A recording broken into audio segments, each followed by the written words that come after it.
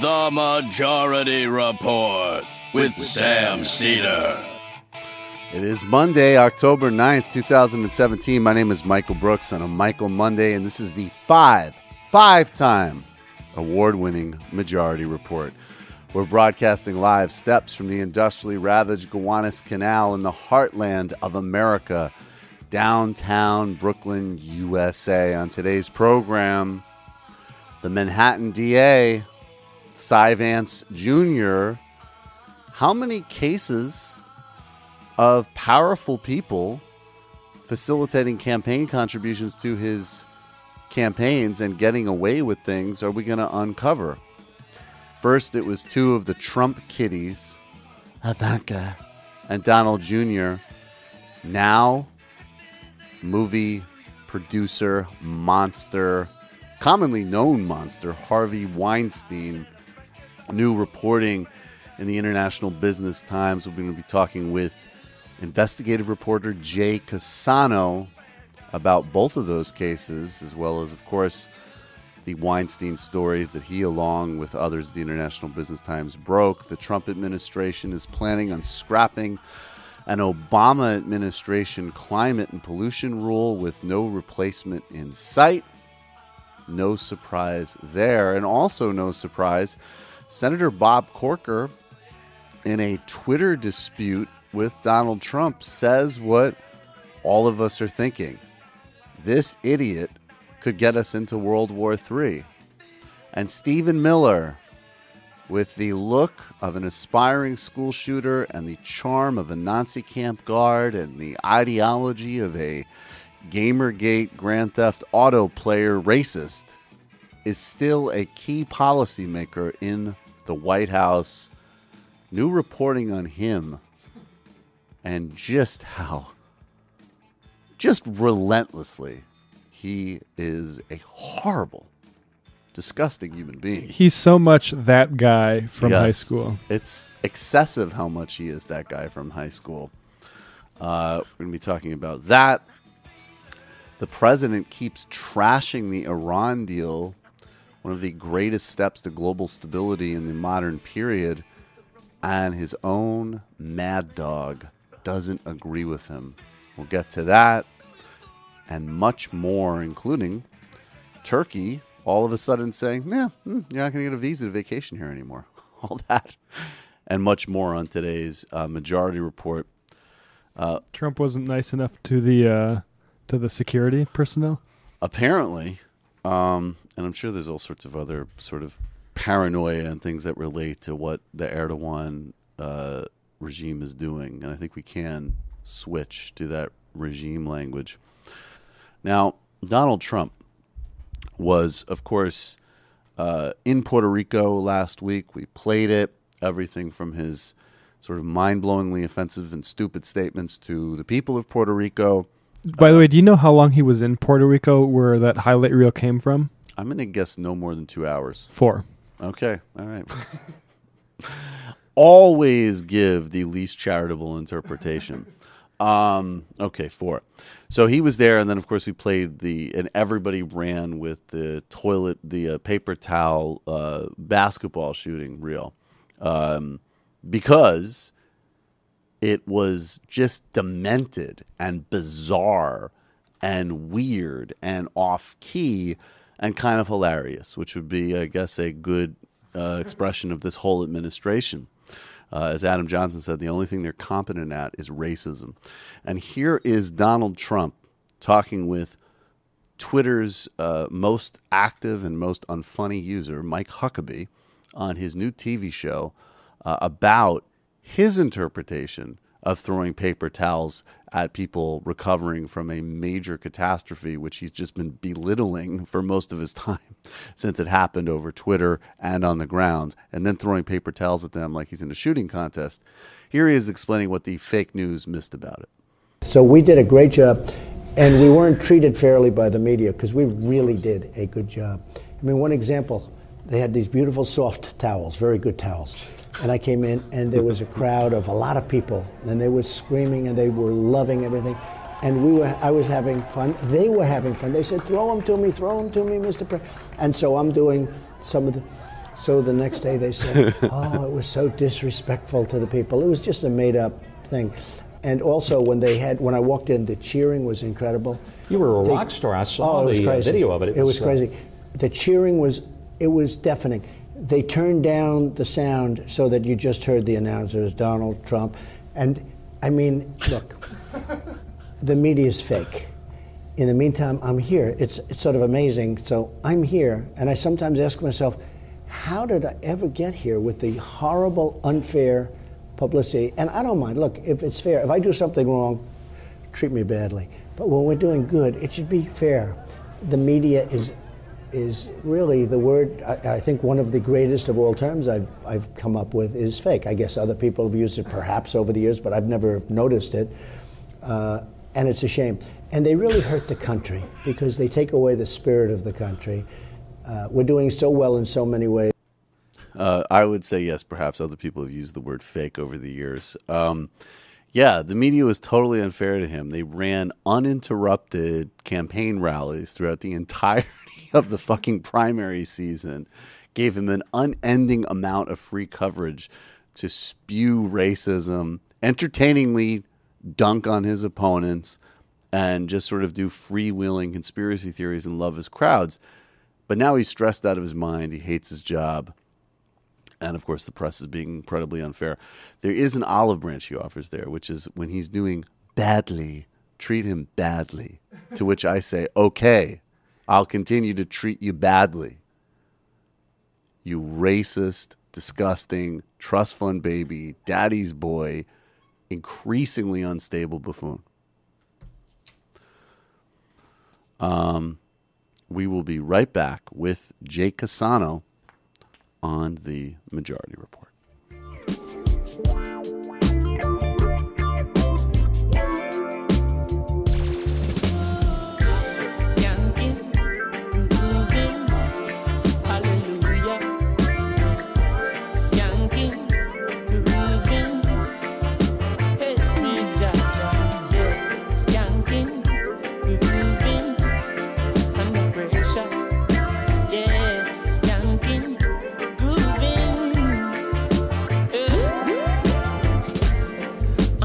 Pressures of a life and it tough. No stay down, mama, time pick it up. No bother with the down, full style, strictly up, full vibes. I pick it up when the bills, them, the rent and the mortgage due. Yeah, yeah. When me chalice, when your best friends are gone and it's only you. Yeah, like a split, turn up the music. Skanking sweet, everybody wanna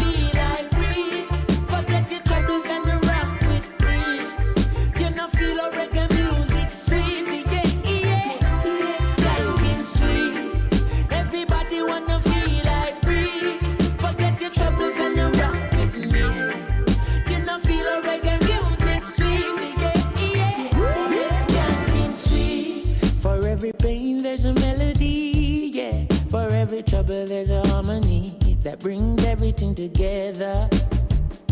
So make we sing together. And who said life no order? And every man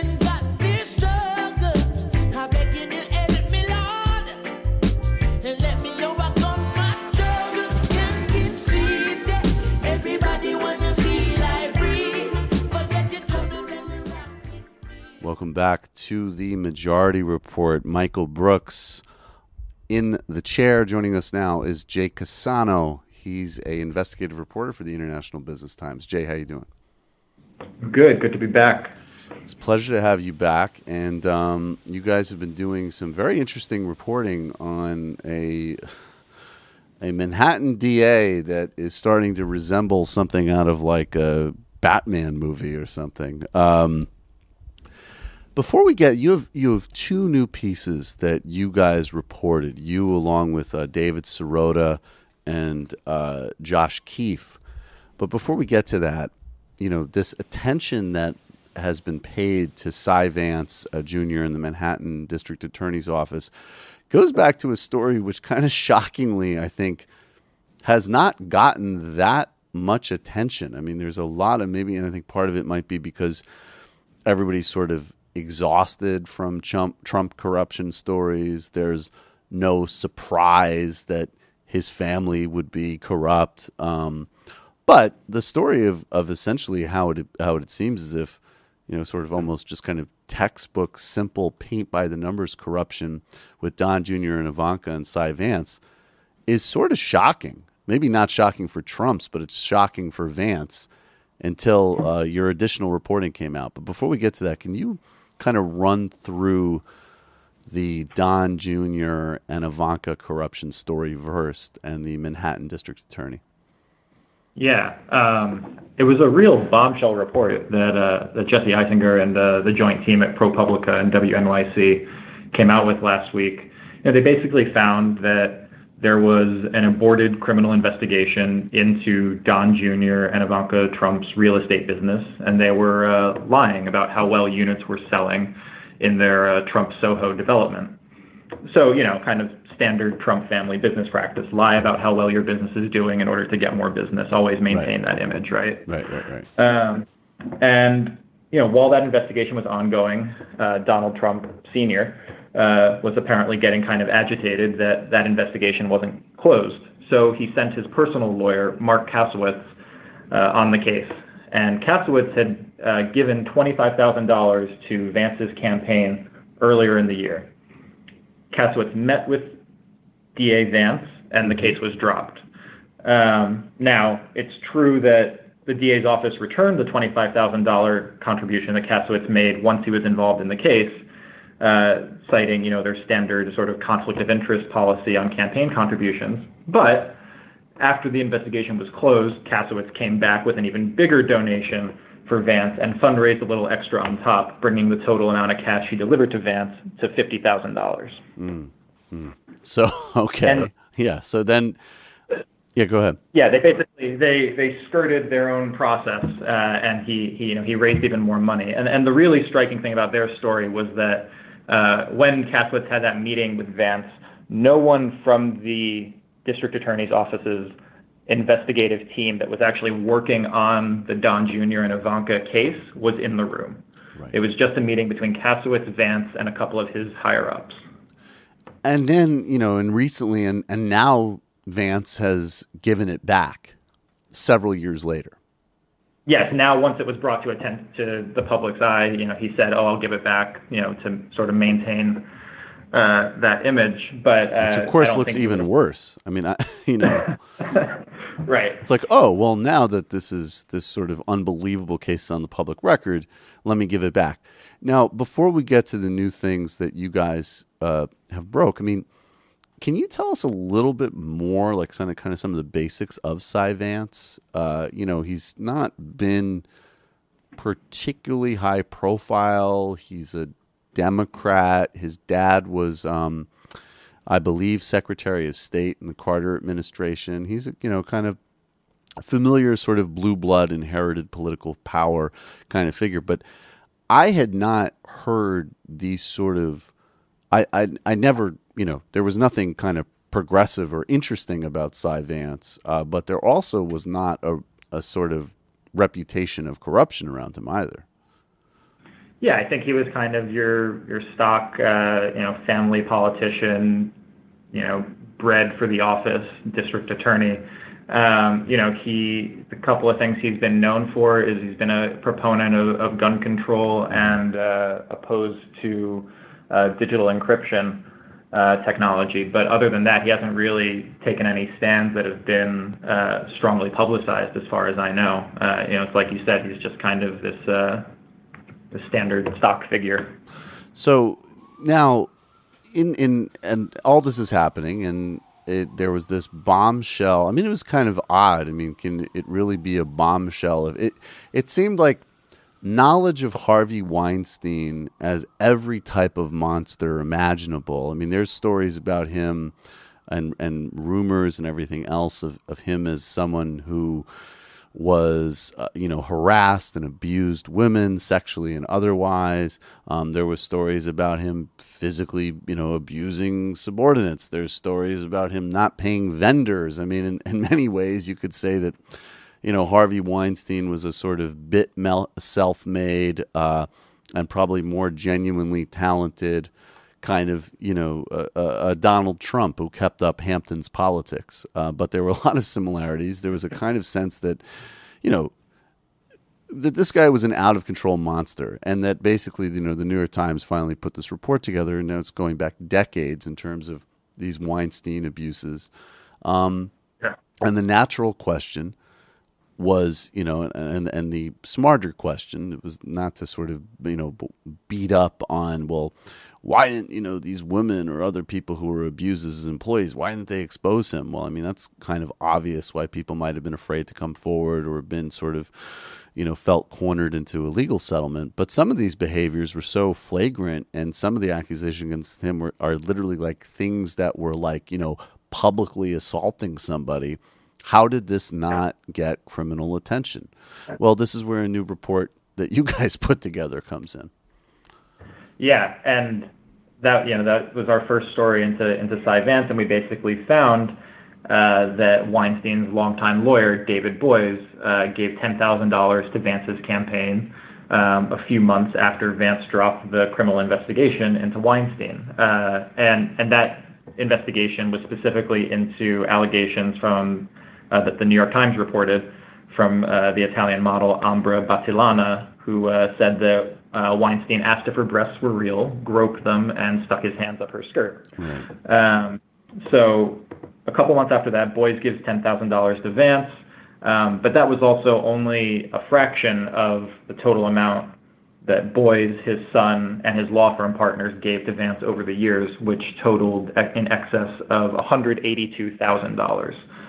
Um, so it's true that you know a little wrinkle to this is that uh, Boies did not specifically represent Weinstein in that 2015 sexual assault investigation, but he was Weinstein's lawyer for at least a decade before that. At that point, um, and he clearly had a close relationship with Vance. Uh, you know, he had headlined a fundraiser for Vance previously.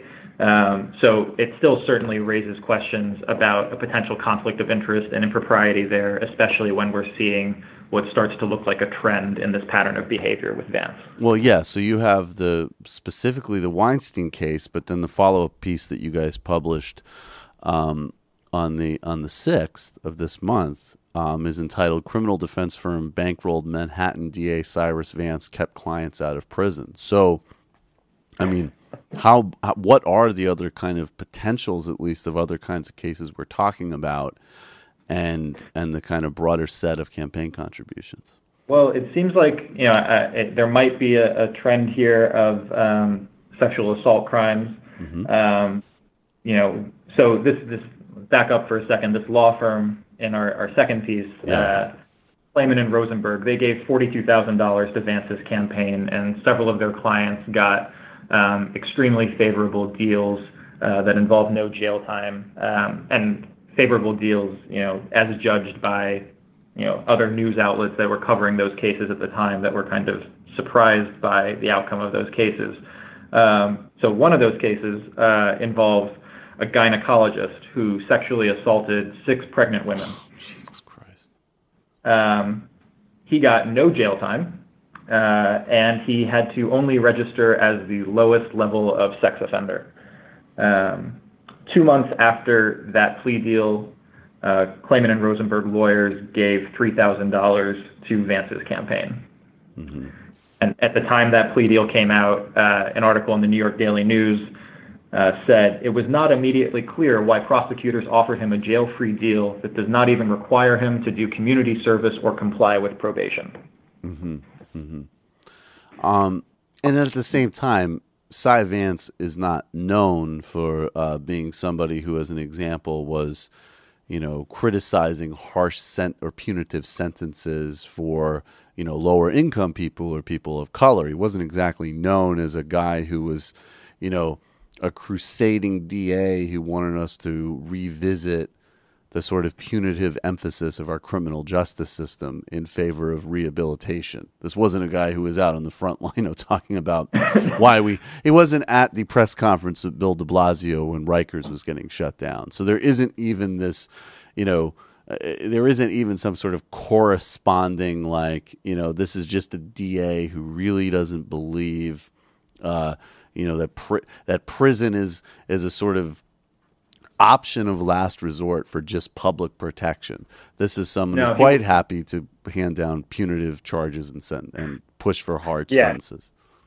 he wasn't, uh, you know, he certainly wasn't at any meeting of, of uh, prison abolitionists. And, uh, you know, in fact, there are lots of reports of him kind of maybe being a little overly harsh on uh, kind of broken windows charges like turnstile jumping and things like that. Right. So he's been t- totally on board with this sort of New York City, very, you know, Giuliani, Bloomberg tradition, somewhat modified by de Blasio of kind of using, uh, you know, public ordinances, lower level drug crimes, and things like that to essentially police, you know, communities of color and constrain populations and kind of create a New York that is safe and pleasant and very easy to manage for a serial sexually assaulting gynecologist um, so that he Yeah. can avoid, you know, jail and go hang out in Gramercy Park or wherever he was. Um, what has been the response to both of these stories from the DA's office? I mean, it, it, what's kind of notable about this is that, you know,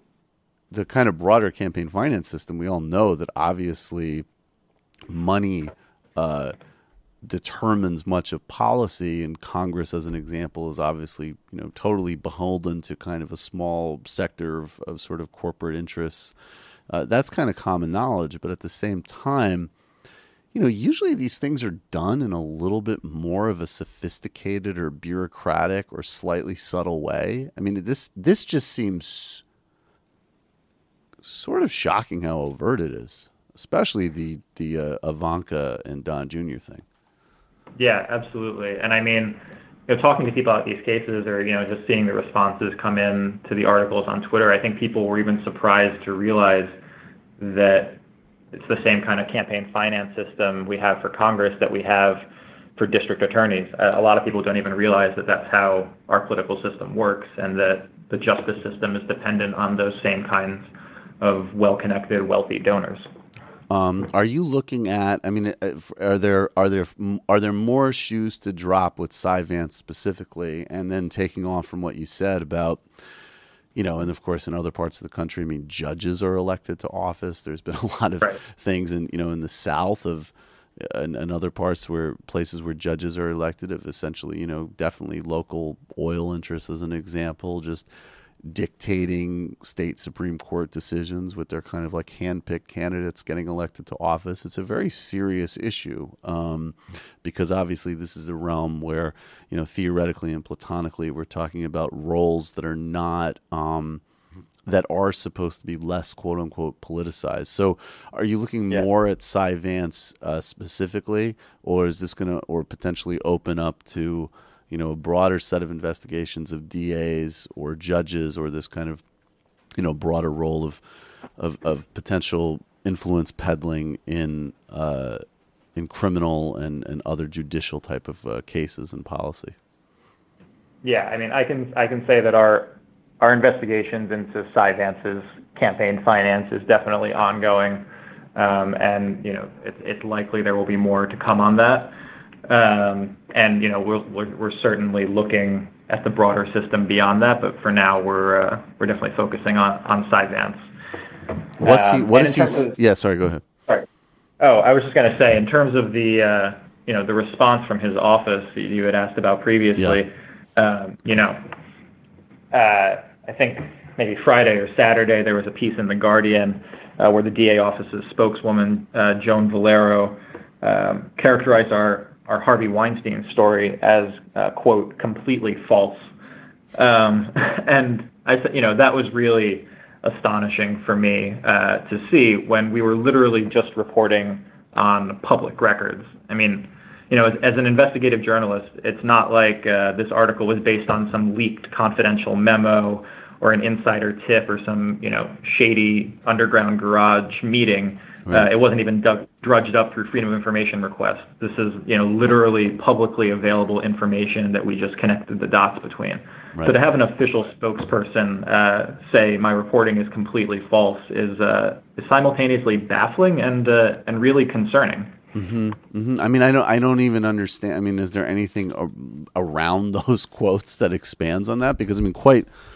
I mean, unless they were going to somehow prove that, oh, you know, sorry, this isn't Jade, you know, uh, you guys at, at, at International Business Times, this isn't even your fault. This stuff was just literally mislabeled on the public record, and we could see how that looked weird, but we've corrected it. And the money actually didn't come from any of these sources. And, you know, here's the documentation. That would basically be the only way that you could say that. And then even then, you would still be like, apologetic. You know, there's there's some problem at the sort right. of you know at the clerk's office or whatever. Yeah, uh, no, they have not said that any of the records we reported on were incorrect or mislabeled or anything like that. Uh, they she threw out a couple of kind of straw men claims that we did not make in our story, mm-hmm. um, and said none of these things are true. And to my which my response was just, yeah, we didn't say any of those things.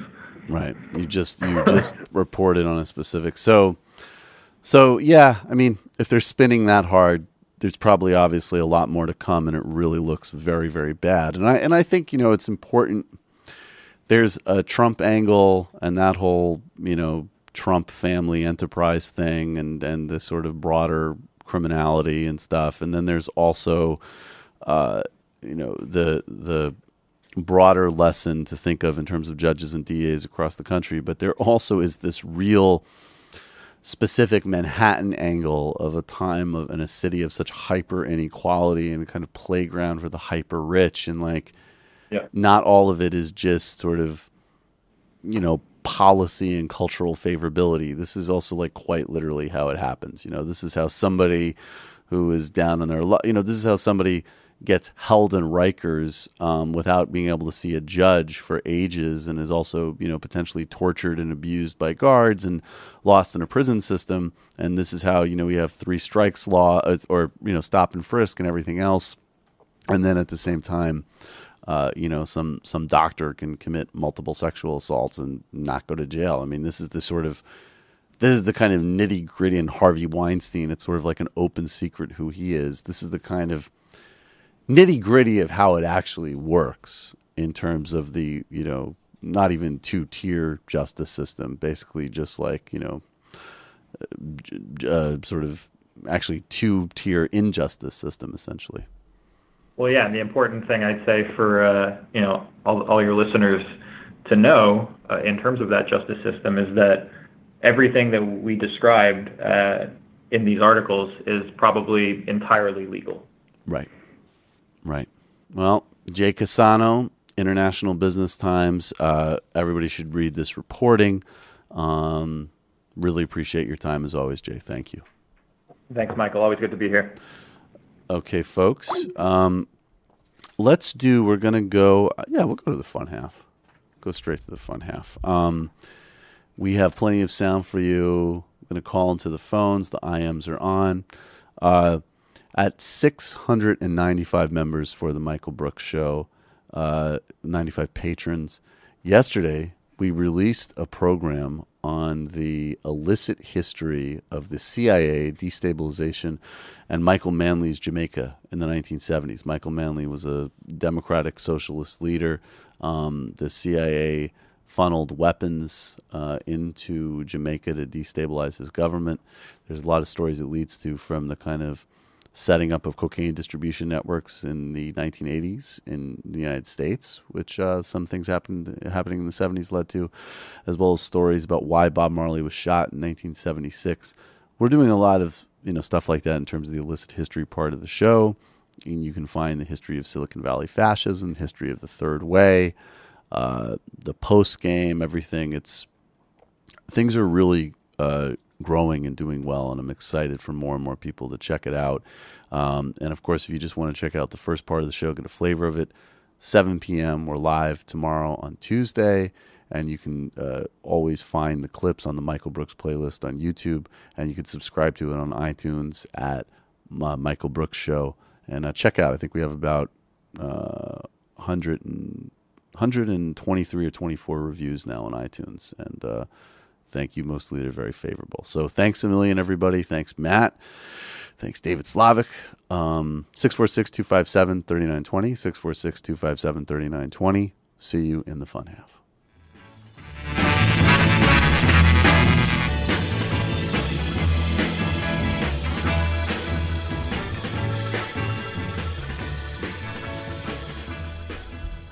Welcome back.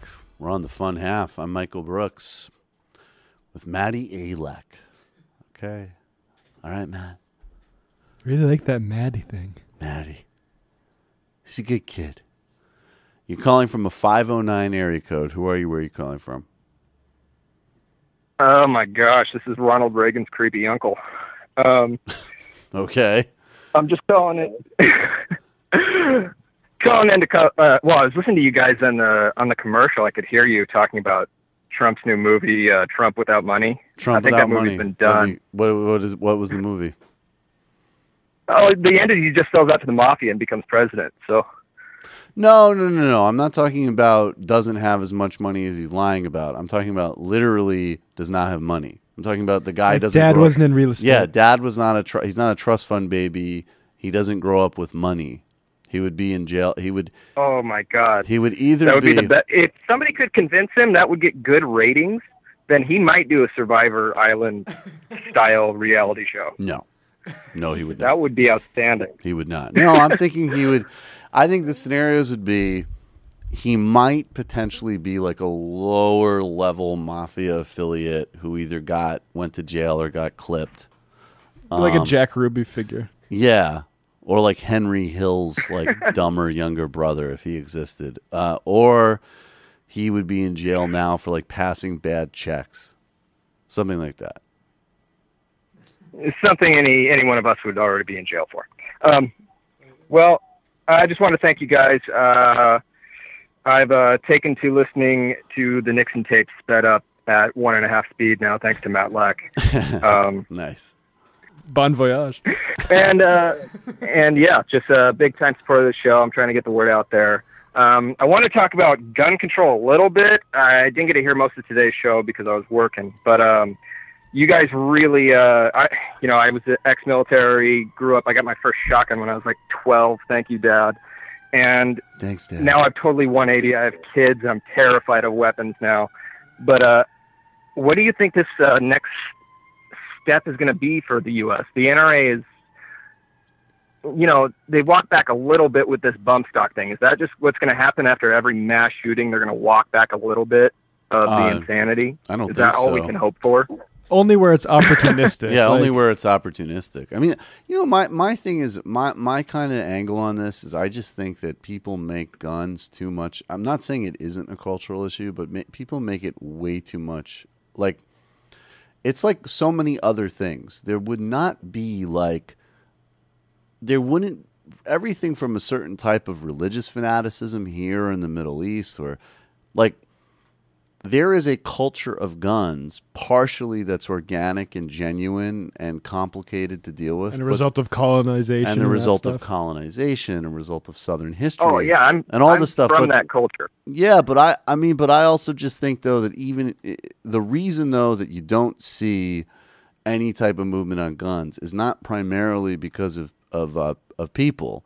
It's primarily because of the power of the domestic arms cartel, which keeps this country held hostage and owns Republicans. Period, and also the way they're able to activate a small band of truly insane people uh, through things like NRA Well. I, I don't think it's that small. They activate uh, a base, uh, you know, throughout rural America that's in the millions that totally believes their propaganda. Yeah, And the uh, I can't I mean, even bring it up with a lot of then, yeah. with a lot of my friends. yeah, yeah.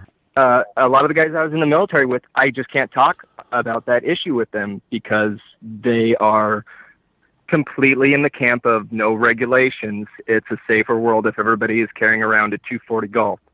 And That's insane. yeah, it's What about have you ever? What about other issues? Can you talk with them about other issues, or is that like the one thing that they're just completely crazy about? Yeah, that's actually one of the main hitches. A lot of them are more reasonable about a lot of things. Hmm. Um, it's just where they get into the personal defense kind of thing. And I was there. I was there with them too. I mean, when I got out of the military, I wasn't political at all, really, which is insane for someone who was in the military. But um, I I was totally uh, yeah. We can go ahead and call it libertarianism. Uh, I, was, I Oh. was hook, line, and sinker, man. Boo. It was gross. And So what's what I switched wanted to call up? in and actually. Well, it was it. damn it, it was Sam Seder's debates with libertarians. I wow. cruising through YouTube and thought I was gonna watch this little little guy beta male with his glasses get crushed by some hardcore libertarians. And, then and then all of a sudden that he- little he beta male just hell out of just just fucking destroyed. Because he would be like, okay, but what about clean drinking You know, water?" it's always- and it's- then they would be like, oh, well, the connection's bad, but if you want to have slavery, that's freedom. It's nice. It's always nice to hear that because those things are very kind of interminable to go through every day. Like when Yeah. we were doing a lot of those, Oh. it hasn't haven't been in a while, but like no, I think libertarians are terrified of the show now. And I also think libertarianism Oh, think isn't so. isn't trendy anymore either. I think a lot of libertarian. I think I think what con- would be in- confusing time for libertarianism. I think what would be interesting now is I think it it had a tide. It followed the Ron Paul tide, and now it's reeling back. But that was that was a serious movement for a while. And I think people are either getting sane like you or they're realizing like the logic of where I'm going basically means that I'm I should just become a Nazi. I think like that's like that's Yeah. where that's Yeah, like how have- it's splitting up. The logical conclusions get a little scary. So uh, thank you guys. Appreciate it. Keep up the good work. Thanks, I'll boss. call again later. Appreciate the call, man. Thanks. You're Ronald Reagan's creepy uncle's not terribly creepy. no, not terribly creepy. You're calling from a 509 area code. Who are you? Where are you calling from? Bro, is this Michael Butt from the Fake News Report? yes. Dude, Dude. what the fuck? This is Donnie J. Donald Trump Jr., everybody. What the fuck, dude? Well, what the fuck? Talking a lot of shit today. I, I, yeah, well, I guess it did involve you sort of uh, not really even lucking your way, just kind of corrupting your way out of a corruption charge, huh? Bro, my dad is 6'4", 310, and he's going to kick your dad's ass. Is your dad really? How really tall is your dad, bro? How tall is my How dad? tall is your dad, bro? Oh, my dad's only five eight, man. Give me a break. That's kill me in size, bro. He's about to get bit. He's about to get bitch slapped by the ultimate alpha male, Don Senior, my dad, bitch. Do you really get along with your like? I read a report. Uh, it was a Facebook post, to be fair, but it struck me as true that it was the day before, week before the election, I think, that you were really sad in college and you would basically just drink yourself like past the point of no return pretty much every day. Yeah, dude. Yeah. College. But not like fun drinking. Like you weren't like the center of the party. You weren't getting girls. You just literally were like just drunk and depressed. And one day you were supposed to meet your dad and you came out to meet him and he didn't like the clothes you had on and he smacked you in the face and told you to uh, put on a suit. Is that true? Yeah, bro. That's what's about to happen to your dad, bitch. Look, has my dad made me cry? Yeah, but I probably deserved it. And now I'm an alpha male too. No, you're an alpha male paid too. off. Look, bro. Look, bro. Me and Jesse Watters are going halvesies on a prostitute tonight. I was gonna invite you, and now I'm not. I'm, I'm- talking mad shit. Totally okay with not Go getting fuck that invite. yourself. Okay. Thank you, Donald Trump Jr. Also, by the way, that was we were talking the other day on my show about callers knowing how to land things well. Ending that with "Go fuck yourself" was a very solid land. Um, I just want to follow up briefly, in light of the Harvey Weinstein thing and and uh, and this sort of Joe Rogan conversation we were having the other day. There's this whole cluster of people, people that you know, on one hand, I, you know, obviously I have no respect for, like a Dave Rubin type. People like Rogan, who I think it, you know, I, it sucks. I think, yeah, he's facilitating a lot of alt right garbage, but I have found him entertaining. I have found him interesting. I've enjoyed his show at times. Uh, and then this kind of whole broader cluster of people, like this guy Jordan Peterson, has become very trendy in this sort of kind of like soft neo reactionary YouTube. Um, and there's a lot of stuff to pick apart here uh, with this sort of obsession with, you know, campus culture and PC run amok and all of this stuff. And I think it's very easy if you want to. We can always identify some excess of a campus somewhere. More substantively, I think there's people who are on the actual left who are not opponents of social justice and understand that things like misogyny and sexism are, in fact, structural things that we need to overcome as part of any serious justice oriented politics. But we have a critique of the kind of dumb wokeism of Twitter and BuzzFeed, and there's a substantive critique, and that's very important. Um, and that's the kind of part of that interwar between the left and liberals. Uh, but I just, I just, you know, was thinking in light of like, you look at the, these falls, you know, Harvey Weinstein, Roger Ailes, and just these grotesque, disgusting monsters who used positions, and, and Bill Cosby, I mean, you can put on the list uh, as well in a different way, but certainly on the list. Um, just in the sense that he wasn't a CEO. Um, but he was certainly someone who obviously had a lot of power and exercised it to systemically abuse women. Um, this sort that that's like the broader reality of this so-called out of control SJW culture. So for every like dumb story you could find about, you know, maybe this campus thing was stupid or maybe even in fact this argument about identity um, is actually problematic from a left perspective, not something that you know Rogan or Jordan Peterson is going to articulate, but they can, you know, find, hey, you know, some campus story that's that's silly or whatever. Just remember that the broader trend and the broader context of a society that takes racism, sexism, structural abuse seriously is that we're just getting the tiniest, tiniest. I mean, because imagine the endless amounts of abuse, as an example, in terms of sexual harassment in a work environment that still exists and is not addressed. The fact that we're even getting an inkling of it, of an Ailes or a Weinstein, is definitely in large part due to the evolving standards of a society which says things like that are, are fundamentally unacceptable. And that's the actual work. That's what the real conflict is over about a conversation about structural sexism, as an example.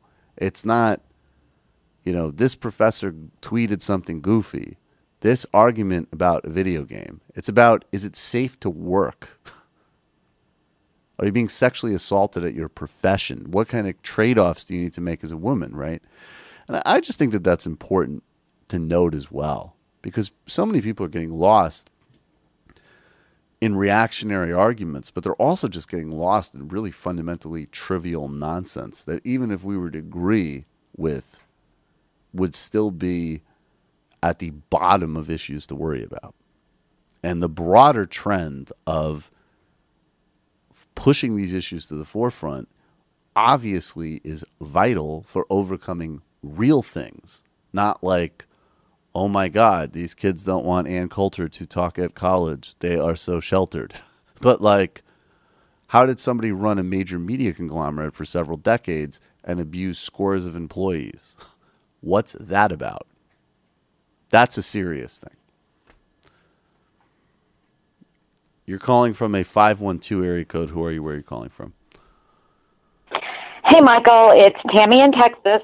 Hey, Tammy. GOP on Twitter. We Hey. We talked last Tuesday. Yes. How you doing? I'm doing good. In the interest of uh, the fun half, this being the fun half, Yes, I just ma'am. want to say that I have given up my quest to be the last American female to get a cell phone. Wow. You got a cell phone? Uh, I didn't get one. Uh, an incredible guy, an OG techie, and left wing windmill tilter like myself gave me one as a gift. Oh, beautiful. So I don't, know how I don't know how my levels are. No, you're fine. if I sound okay. You sound okay, fine. great. I, I wanted I wanted to call in uh, again because last Tuesday I was incredibly nervous, No, you were great. and you were. Go ahead. no, I just said you were great. Sorry, go ahead. Oh, well, what I was going to say is you were trying to engage me in a really important conversation, and my heart was beating too loud for me to hear you. Oh. And it was a conversation about evan- evangelical faith in the South and class. Mm-hmm.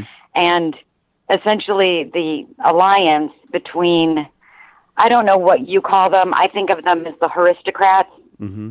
W H O R, the aristocrats, the oligarchs, the Uh-huh. plutocrats, whatever you want to call them. Right. But their alliance with religious conservatives in the South Yeah.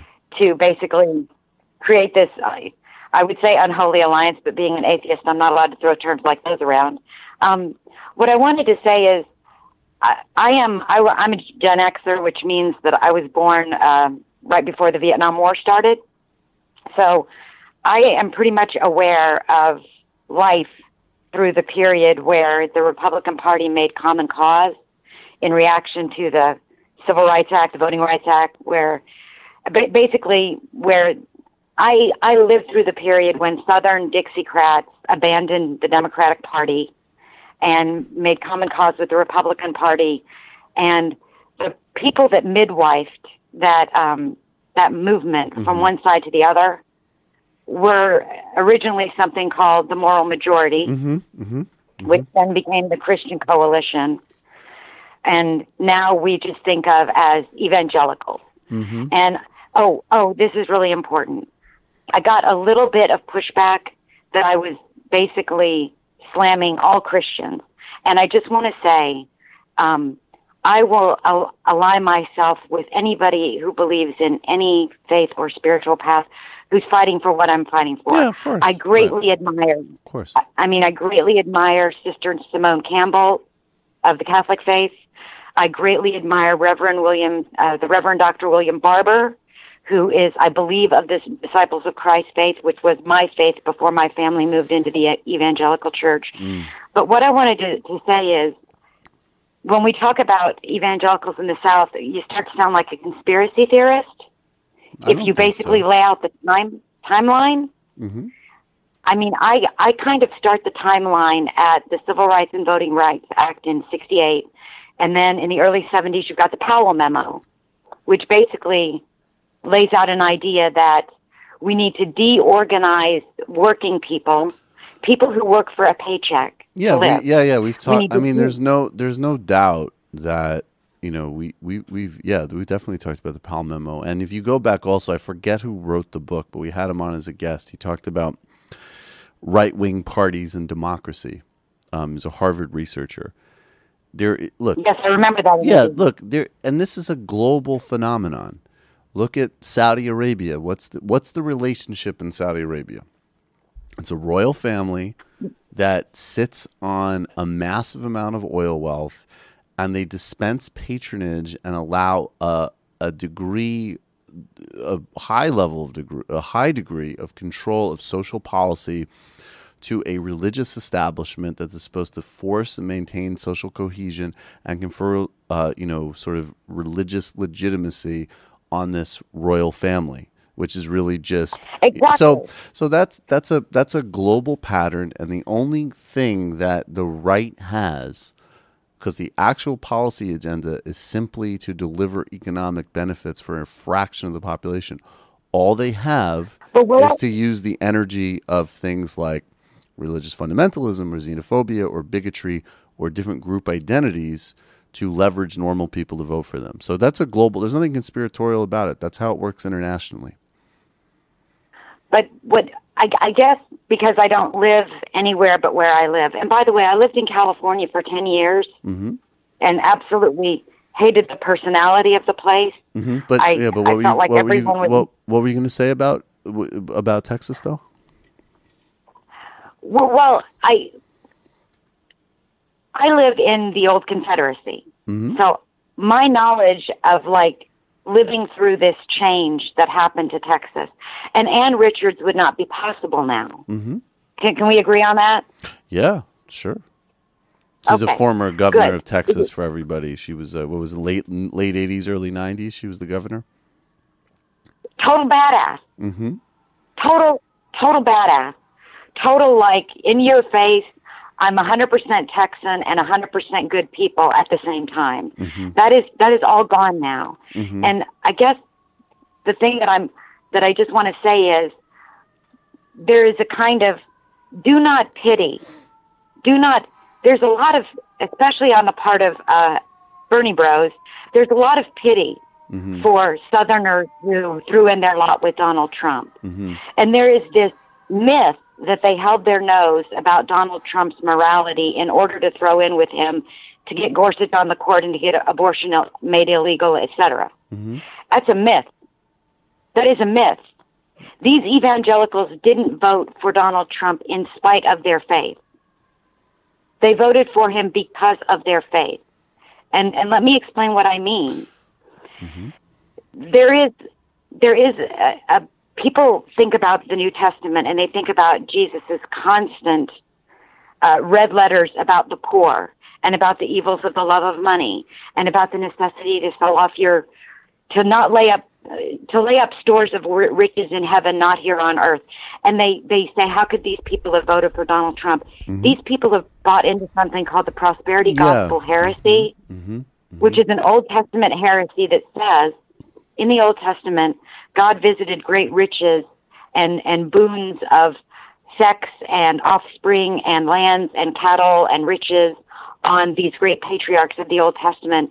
Well, thank you, Were, thank you very much. No, um, I yeah, no, I, I'm familiar with that too. I think I think, and we do have to jump in a minute. I think that the the pushback, I agree with you partially, and I think that there is obviously a debate right now that isn't just about Southern evangelicals. It's about a lot of different types of people um, that I think actually get pushed together in ways that are unhelpful, um, to be honest. But yes, there's this basic notion of, you know, is one side essentially just, well, deplorable, or is, you know, this kind of support for people like Trump misdirected populism or angst, or even, I guess, in your case, you're talking about people with just kind of genuine religious convictions about things like abortion, which I don't, frankly, have much time for either. Uh, I think the truth of the matter is, is that obviously a vast majority of people who voted for Trump were, and we always say this, they're just Republicans. And the Republican Party is a plutocrat, social reactionary party of which Donald Trump is the perfect representative of. Now there is a, now there is them. well, I mean, I don't, you know, I, I, I don't, I don't know what's Do not pity them. profitable. this isn't I think, I- I think that though it's what's important though is there is a chunk of people uh, that can be pulled off, uh, and that's who we need to focus on, and a broader rhetorical strategy that opens that ability is helpful. Um, whether we pity people or not, uh, I don't, you know, pity means different things to different people. I don't pity these people, but I sure am interested in how the situation got as bad as it is and, you know, the context behind it. Um, I think that's all. do you remember? Do you remember when we talked about brainwashing? Mm-hmm. Yeah, no, I, I do. Yes. the non-evangelical brainwashing that has taken place for the non-evangelicals the brainwashing that has taken place is the wholesale purchase of this idea that our political and economic system means everybody can be rich right. People have been brainwashed to believe that. And they voted for Donald Trump, and this is going to sound bizarre, but I promise you it's not. It's true. Because they thought he's going to get into office and tell us all the secret Right. Right. and make us all rich.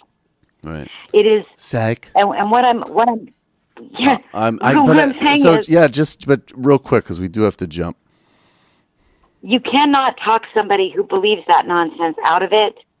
I, I agree with you that we need to come up with a rhetorical strategy. All I But we could probably talk somebody who voted that way in, you know, Michigan out of desperation out of it. I don't think there's anybody, even my, you know, and speaking as a Bernie bro, I guess, whatever the hell that means, I have no illusions about flipping Southern evangelicals. My main political concern in the South is voting rights for people of color and attempting to Right. organize, you know, the the emergent reality of those places to overturn essentially white supremacy f- fused with you know this very very toxic and deranged religiosity. But I do think that as a message matter, we need to be bold and confident and reach out to, to everyone. And then we also need to make these distinctions because, you know, it, there is a very big difference. And, and again, not just, I don't, I think voting for Donald Trump, as I've said a million times, is an act of white supremacy in and of itself. But somebody who did that in a sense of desperation in the industrial Midwest and had voted for Obama before is a radically different voter than the type of voter you're talking Yeah. about. So that that's the kind of distinction we need to make. But I, I do need to jump. Thank you so much for the call. No, you got to let me. de- You got to let me defend myself. You. No, I, no, you- look, you're- Killbot to Bernie. You you said I called you a Bernie bro as a pejorative. Oh Uh, no no no no no! I didn't bro. take I didn't take it like that. Not at all. Not at all. No no What no. I mean when I say Bernie, I don't consider you a Bernie bro. Oh okay. When I say Bernie bro, what I mean is people who say if we can't have Bernie, Trump is Trump is fine. Yeah, I think that there's definitely nobody. Hope I don't think anybody listening to this show would think that. That's a delusional position. Uh, but if, yeah, of course. Thank you so much for the call. All right, thanks, I'll talk to you again soon. Thank Thanks. you. Bye bye. Um, okay. So Senator Bob Corker, who is a is that the clip you have up? No, sorry. This is the football stuff. Oh, this is the football stuff. Okay, let's do the football stuff. So, uh, Mike Pence, who is just as despicable as Donald Trump. Look into his record in Indiana on voter suppression. Look into his record on assaults on women's health. Look at his record going back, you know, as a not only just a person who, of course, voted for the invasion of Iraq, he was a prime advocate of the invasion of Iraq. Um, he wants to get in on this uh, NFL uh, far right virtue signaling. And how did he do that? Well, I, I don't like to frame things this way, but this was literally a. If, if you want to look at stuff like this, a hilarious, massive misuse of public resources and time in a craven display to get on the news cycle. And this is a, a CNN panel uh, breaking down the situation with Vice President Mike Pence. Um, all right, I also want to bring up uh, something that just happened uh, today at the NFL uh, at a game. Indianapolis Colts Vice President Mike Pence uh, was there, uh, but then tweeting a short time ago that he left the Colts game over players kneeling uh, during the anthem, and then writing this: "I left today's Colts game because a President of the United States, and I will not dignify any event that disrespects our soldiers, our flag." Or our national anthem at a time when so many Americans are inspiring our nation with their courage, resolve, and resilience. Now more than ever, we should rally around our flag and everything that unites us while everyone is entitled to their own opinions. I don't think it's too much to ask NFL players to respect the flag and our national anthem. Uh, so, so Brian, I mean, this kind of also underscores it's back to uh, the, the, the kneeling, um, the, the form of protest. So many players say it's not about the flag, uh, but it is in, instead uh, a statement being made about social injustices. But the vice president underscoring that he sees it as an issue of the flag. So, what is the message that's being sent uh, by the vice president tweeting this and refusing to be to, at the game? In some ways, I think it's back to a culture war issue that Trump and Pence felt they were winning on. This was big news two weeks ago. It faded away. Now it's back thanks to Pence's visit. I've got to be cynical about this for a moment, Fred. The Vice President Pence was in Las Vegas yesterday speaking solemnly about the massacre there. Then he flew home to Indiana. He spent the night in Indiana. Uh, he went to the game today. He's about to head back to the West Coast. So it makes you wonder if he purposely wanted to go to the Colts game today in Indiana in order to make this kind of statement knowing that 49ers players were almost guaranteed to kneel. There's been players on the San Francisco team kneeling every single game. So Pence and his team heading to the game today, they had to have known there was going to be kneeling. His statement almost seems written ahead of time. Uh, it seems like this was a, uh, you know, it seems like it was a staged uh, moment for Pence to walk out to make a statement about this. But clearly he feels strongly about these anthem protests. He wants. Brian, I'll help you. It was premeditated. It's lazy. It's pathetic. It's sort of so ham handed and comically obvious what Mike Pence is doing here that it's embarrassing for everybody involved. Well, and it's repetitive because this is what Pence did when he went to Hamilton too, right? Yes. Like it's sort of the exact same thing. I'm going to go someplace and be offended by the the people on stage that you know our voters can't identify with for whatever reason. And again, this just just strikes me in light of this like YouTube conversation that the left is like the party of the perpetually offended. Because we might say like, "Hey, I thought your comment about Puerto Ricans being lazy while we're viciously savaging them with austerity, not responding seriously enough to a catastrophe. I thought that was a fucked up thing to say. That means that like we're always triggered. But these guys will take a plane trip to intentionally choreograph offense about athletes exercising their free speech rights, incidentally, to highlight an issue that, you know, I don't know, maybe being black and getting fucking murdered by a police officer is a little bit more important than Mike Pence's feelings or the feelings he's pretending to so deeply have so he can trigger his base. Because if you want to have a conversation about everybody being too reactive and too caught in a news cycle and too triggered, we can have that. But that's going to be about pretty much every American at this point. This country is in need of a global meditation retreat.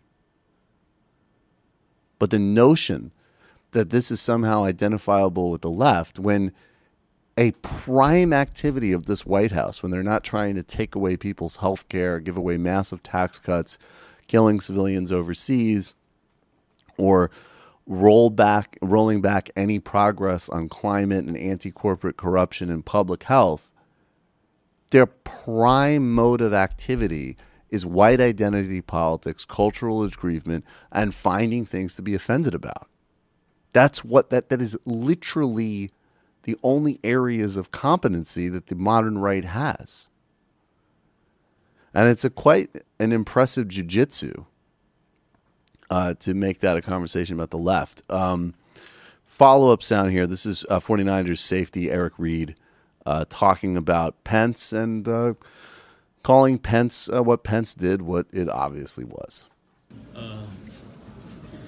My honest reaction: Does any, first off, does anybody know the last time he's been to a football game?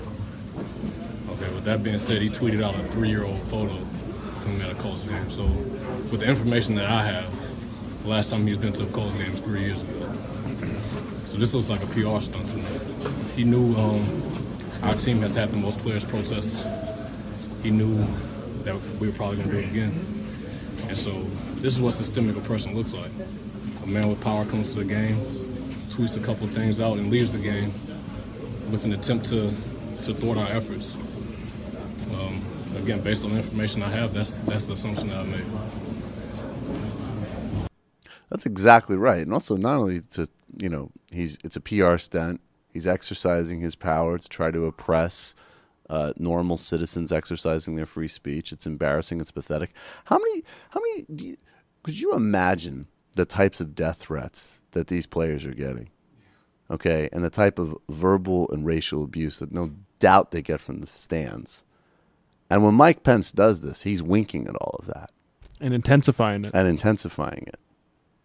It's disgusting. I mean, it's a, it's a sort of classic mode of Mike Pence of just utterly craven and disgusting, but also just sort of silly and pathetic at the same time.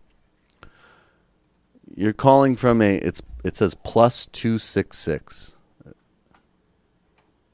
Are you are you there? Is that me? That's you.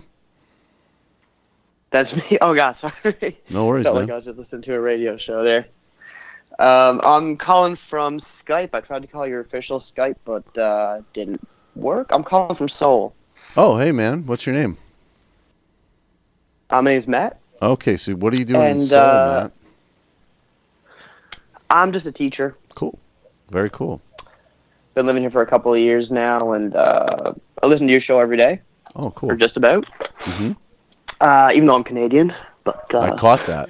it's good to keep tabs on what's going on in the U.S., especially when you're here. hmm Uh, Sorry. And I heard you guys wondering, um, you guys said it on the show the other day, what must it be like to be living in Seoul right now? and so I thought I'd call in and tell you what it's like. Yeah, go ahead. Uh, now I'm just a, I'm obviously a foreigner. I'm a bit clueless. I don't really speak the language and, and all that, but um, it's different here now, or it feels that way to me. Uh, I lived here for a couple of years now, and I lived here once before too, uh, many years ago, and uh, I had never occurred to me before that anything was going to happen with North Korea. Mm. I mean, you, you got to understand just how like poor and weak that country is. Like I was trying to find something to compare. Mm-hmm.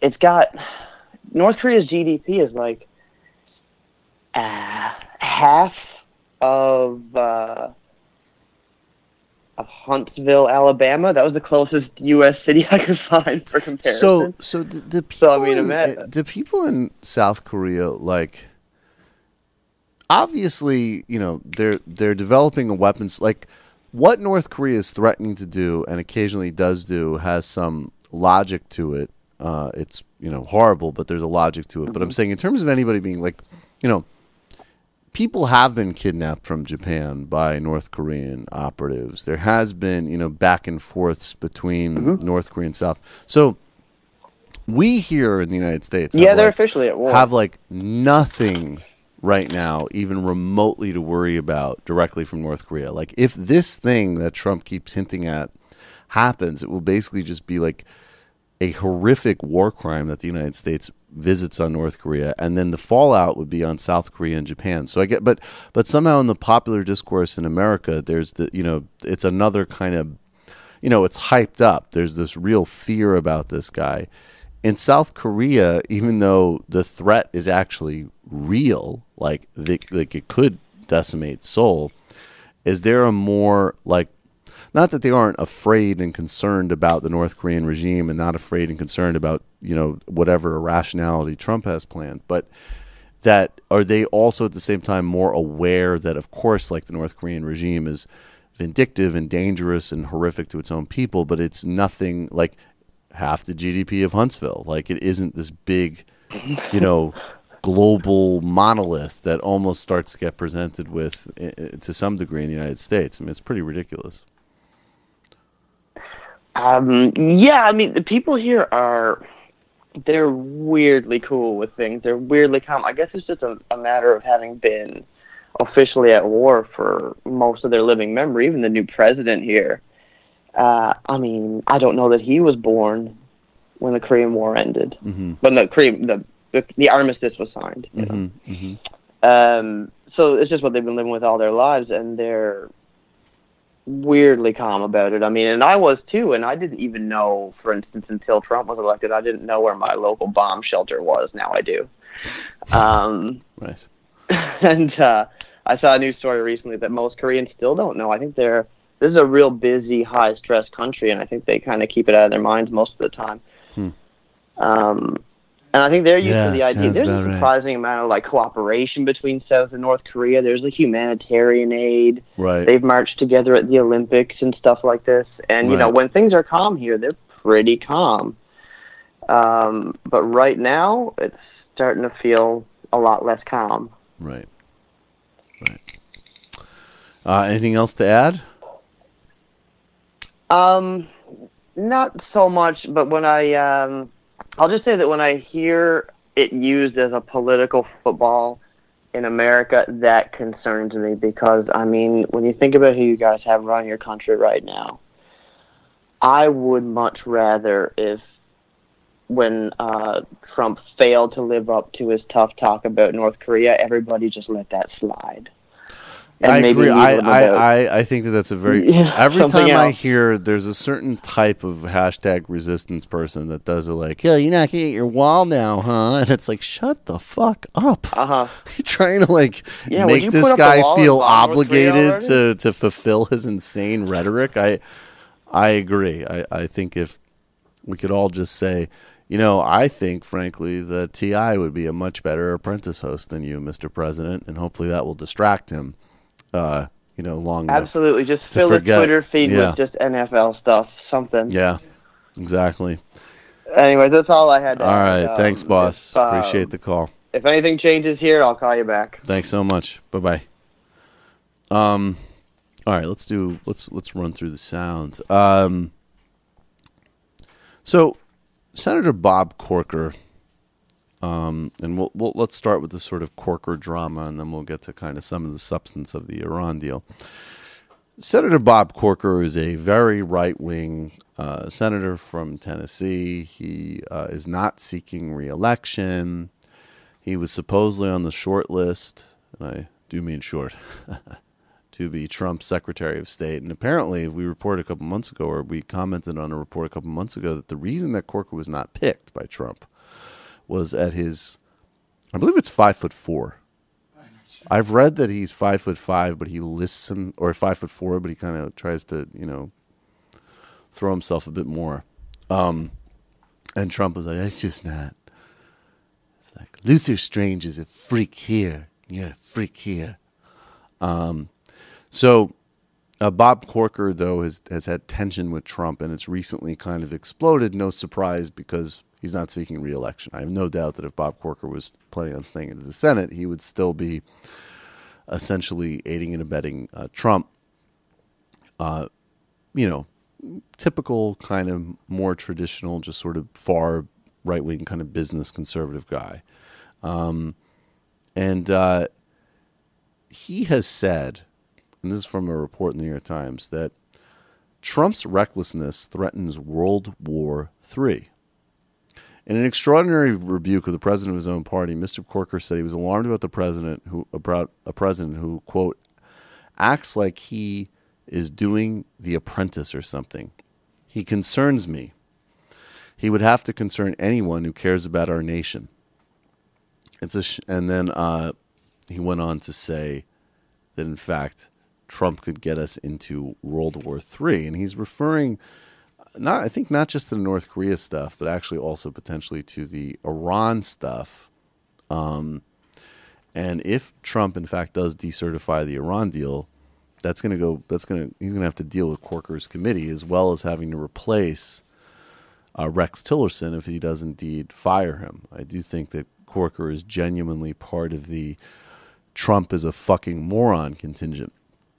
Um, and it should not earn anybody high praise to recognize the obvious that, of course, Trump is a fucking moron.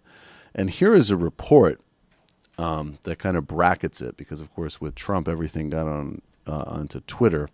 An NBC uh, news report on the Trump Corker feud.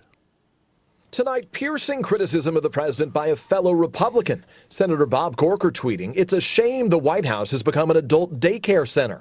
Someone obviously missed their shift this morning. Those sharp words, retaliation for President Trump's latest Twitter tirade, attacking Corker as a negative voice obstructing his agenda, and a coward who didn't have the guts to run for re election. The president's budget director an hour earlier praising Corker. I think it's going to be fun to work with him, especially now that he's announced that he's not running for uh, for re-election, because I think it sort of uh, unleashes him to do whatever he and say whatever he wants to say. Corker, head of the powerful Senate Foreign Relations Committee, just days ago, taking this apparent swipe at the president's competence. I think uh, Secretary Tillerson, Secretary Mattis, and uh, Chief of Staff Kelly uh, are those people that help separate our country from chaos. So there you have it. Um, and this comes on top of, you know, Trump is still ranting about the Iran deal. Now, there's obviously a contingent inside the White House, and it is still the mainstream. There, the, any Republican president and I think, in fact, a guy like Rubio would be even more likely to ruin the Iran deal than Trump because he's fully, you know, he's just a sort of airhead bagman for neoconservative interests. What they tried to do during the Obama, and I mentioned this before, I'll just go over it again briefly. What they tried to do during the Obama negotiations um, and the, the Kerry negotiations with our partners and the Iranian uh, government was to add these poison pills. So that that agreement was actually very strictly about the nuclear program and our uh, and sanctions relief. It was a very direct, and then of course, once you're there building negotiations and building relationships and kind of cooling relations a bit, and giving a kind of modest improvement, there's always the possibility that that will have ancillary benefits for other areas of cooperation um, and other potentially shared sources of interest against you know ISIL as an example. But uh, it was not a global deal. It wasn't a deal about Hezbollah. It wasn't a deal even about missiles. It wasn't a deal about delivery systems. It wasn't a deal about you know recognizing Israel. It was not a full package towards full normalized relations. It was sanctions relief and constraints on the nuclear program, which everybody, including the Trump administration, which has been certifying it under Tillerson, um, acknowledges that they have been following. And it makes sense that the small, quote unquote, realist contingent or the small kind of occasional s- sort of shoots of some sanity around this situation in this administration um, would say something like this. This is from a hearing that took place uh, about uh, uh, last Tuesday in the Armed Ser- Senate Armed Services Committee. Senator Angus King, independent of Maine, asked Secretary of Defense James Mattis what he thought of the Joint Comprehensive Plan of Action, which is the Iran deal, whether the United States should stay in it or pull out. Secretary Mattis, very quick, short answer question. Uh, do you believe it's in our national security interest at the present time to remain in the JCPOA? That's a yes or no question.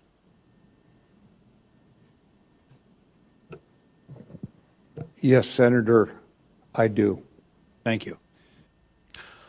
And it's obvious why it would be the case. One, the deal is working, which means that from a U.S. perspective, Iran's uh, weapon, potential of a nuclear weapons program is, is significantly reduced and monitored and constrained. It's also a business opportunity as sanctions are lifted and foreign direct investment flows into Iran. There's contracts for companies like Boeing to help rebuild Iranian air fleets for their airline industry, as an example. And then number three, it totally destroys. I mean, you have two examples now.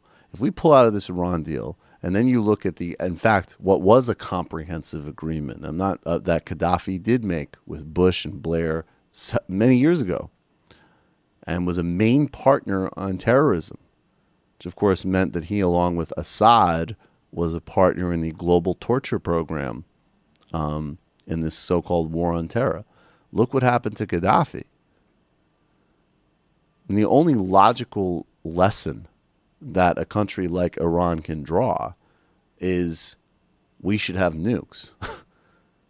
and the supreme leader, while endorsing and allowing Rouhani to pursue negotiations, also said, basically said something to the effect in Farsi of you can uh, you can do it, but I know that they cannot be trusted.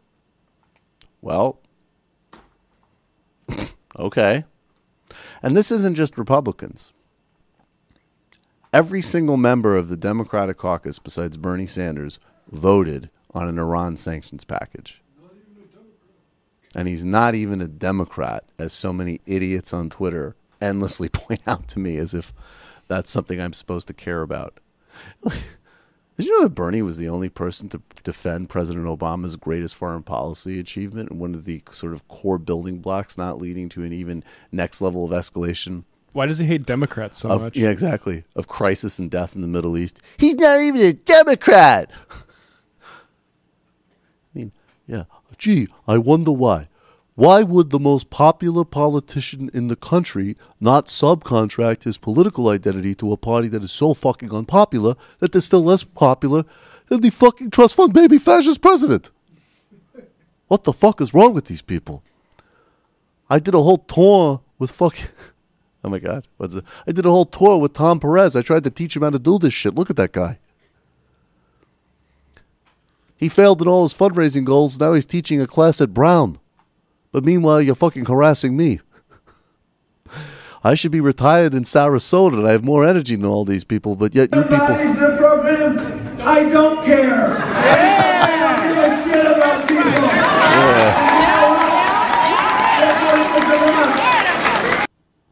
Tom Perez at his best when he's cursing. What happened to that? They went, went through all this effort to make sure that Keith Ellison was not the NC chair. And apparently Obama worked the phones and all of this shit. And then Perez gets it, fails his fundraising targets, and is still there, but also like uh, teaching college. Teaching at. Brown. Yeah, teaching at Brown. I guess uh, Brown's nice. I I spent some time at Brown in college. Good people, hookah bars. I don't like what the fuck. And these idiots bitch about Bernie Sanders. It's unbelievable. Ugh. And all of them, I will say. I mean, th- this is th- this is why. I mean, you know, it's not, it's like, I mean, the reasons that I will probably support Bernie Sanders again if he runs in 2020 are number one because, of course, I do not want women or minorities to be in elected office because I'm a socialist. So obviously, uh, no, but uh, number two, I mean, all these people, including people I like, like Elizabeth Warren. I really like Elizabeth Warren. I would like to, you know, if she could just expand the sphere a little bit. Warren, Harris, everybody voted for Iran sanctions. I know it was part of a Russia sanctions bill. I'm sorry. Sanctioning Russia again is not a fifth as important as preserving this deal with Iran. The the Warren president stuff, it, it just makes me feel sad because she's the type of person where I just like her to stay in the Senate and lock that Senate seat down and be good on the I think Senate. she could be. I think she could truly be a, a icon of the Senate and get a lot of good stuff done. No doubt about it. But I don't know. I mean, I it's it's funny. It's amazing, like just the the depreciation of talent. Because I was thinking too. It's like the best centrist politician in the country is Jerry Brown. It's like not. It's like not even like you know. It's it's like why is it that it's these these politicians in their late seventies? You're calling from a six one zero area code. Who are you? Where are you calling from? Hi, this is uh, Chris from Pennsylvania. Hey, Chris, what's going on? Hey, um, I just wanted to talk about Navient. Talk about but I what? did, uh, Navient, the student loan corporation. Oh, okay, yeah, yeah, those evil bastards. Yes. Yeah. The only thing, um, I do want to say that, uh, sorry, uh, JT Brown was the first hockey player that raised his fist, and he already received death threats. So. Yep. Yeah, you know, it's, but it's not about the, you know, it's not about the protest itself, right? Yeah, of course. Um, right. Yeah, uh, but the Attorney General, Josh Shapiro in Pennsylvania, Mm-hmm. uh, officially sued Navient. Good. And that's actually a bigger, like a huge deal, because Navient is actually, some of them, uh, one of its headquarters is in Pennsylvania. Mm. And so the other, I think it was like Illinois and Washington, they don't have like direct jurisdiction Yeah. where Pennsylvania is. And if the CFPB is going to be completely like gutted in the next year or so, then Consumer it's kinda up Financial Protection Bureau. Yeah. Shapiro. Yeah, it's kind of going to be up to Shapiro, and he wants like full restitution and then to give back their profits and halt That's great. on all the loans and everything. So, That's really great. That's great. It's an important yeah, case. So I just wanted to bring that up, and I don't know. There if, should uh, be universal student debt relief. Period. It would be great for the economy. It would do something for inequality, and it would punish these parasitic companies. There should be national student student debt relief. Period. Done. There should be retroactive free college for anybody still dealing with loans. Period. Yeah, and he said one of the things is that he decided to pursue it because the U.S. Department of Education has basically decided not to because they're on the side. Yeah, of course. Navient. Betsy's busy. Yeah, Betsy's got things to do. I mean, look that that the student. Look, you could take the Department of Education as a microcosm of republicanism. What what do you do? You go out of your way to support fraudulent online universities. You're going to do even the of course, again same with Obama. Get rid of the the most modest steps the Obama administration took to protect uh, former students from all of these predatory companies. And then where are you going to put your real attention? After because all that stuff is great. You just don't have to enforce rules or relax rules. And then you and then you get to the real focus of discriminating against transgender students and relaxing rape rules. And then, you know, Yeah. turn on Dave Rubin and, uh, you know, find out that the fact that, uh, you know, I don't know, uh, Ben Shapiro had to like relocate a talk or something is the, you know, main crisis point in Western civilization. Uh, yeah, there there are there are threats to so-called Western civilization's achievements, but real achievements like free speech and open society, and and it, it's called conservatives. It's not not a fucking refugee from Syria. I appreciate the call, man. Thank you. All right. Can you tell Cliff stop retweeting Evan McMullin? You tell him that. Yeah, tell him that. Tell him that. He didn't respond. I sent him a message He on didn't Twitter. He didn't respond. Well, all I can assure you is that I will not retweet unless I am quote tweeting and insulting Evan McMullin, David Frum, Jennifer Rubin, or who else is on the list of these of these horrible people that all of a sudden get to be Uh, okay? Albright, what Sally Albright is that? Oh, her- Sally Albright. She's, a whole she's- other. She's a. She makes you know. She does. She makes like David Frum look like a paragon of sanity and virtue, and she's not as important as those people. Uh, but I will not be retweeting any of them. All right. Thank you, man. Um, speaking Bye. of, you know, Ben Shapiro needing security to go to campus events. Yeah. Uh, you know, it struck me reading the Milo expose that Antifa tactics regarding, you know, heightening the tensions and, you know, they forced Mercer to put his security with Milo. That's That's, right. explicitly one of the goals of Antifa and roughing those crowds up is Yeah. to like force their hand and like need them to sort of expose themselves, and it worked. So just like to register that. I know it's a really good point. Uchiwali, how are you going to com- commemorate Che Guevara's death? Matt, what do you have in store for the day? Uh, I'm gonna produce some podcasts today. I'm going to produce some leftist podcast content. If Che were alive today, he would be a podcast producer. Um, I'm going to, uh, you know, I'm going to smoke a Cuban. Uh, hang out with some people, drink some rum. No, I don't know. I don't know. I'll, I unfortunately will probably be. I have dinner plans, and then I have to do show prep for my show tomorrow. That's what I'll do. uh, Chris Lapaco, Trump said they turned down the cheering so people could hear the announcements. Does that mean that the cheering was recorded and being played through speakers? I don't know. That no, he's weird. he's always Yeah. talking about how it plays on camera, so they have like the Right. the room mic and the PA mic, and he's very very paranoid about how he's. I mean, he does this all the time about how they're playing that. Yeah, they turned down the. They Turn turned down, down. the applause. Don't it was in the room. that. You couldn't even hear. They're breaking all their recording equipment. People cheering too loud for Don't their want- paper towels. Yeah, didn't want you to see that. The people of Puerto Rico. They love when you say that. They really America. Puerto Rico. Puerto Rico. this guy is such trash. Jesus Christ. Um, uh, colonial colonial company uh, companies. I'd like to see Trump give an example of something he thinks he's done quote unquote badly. Toala de papel.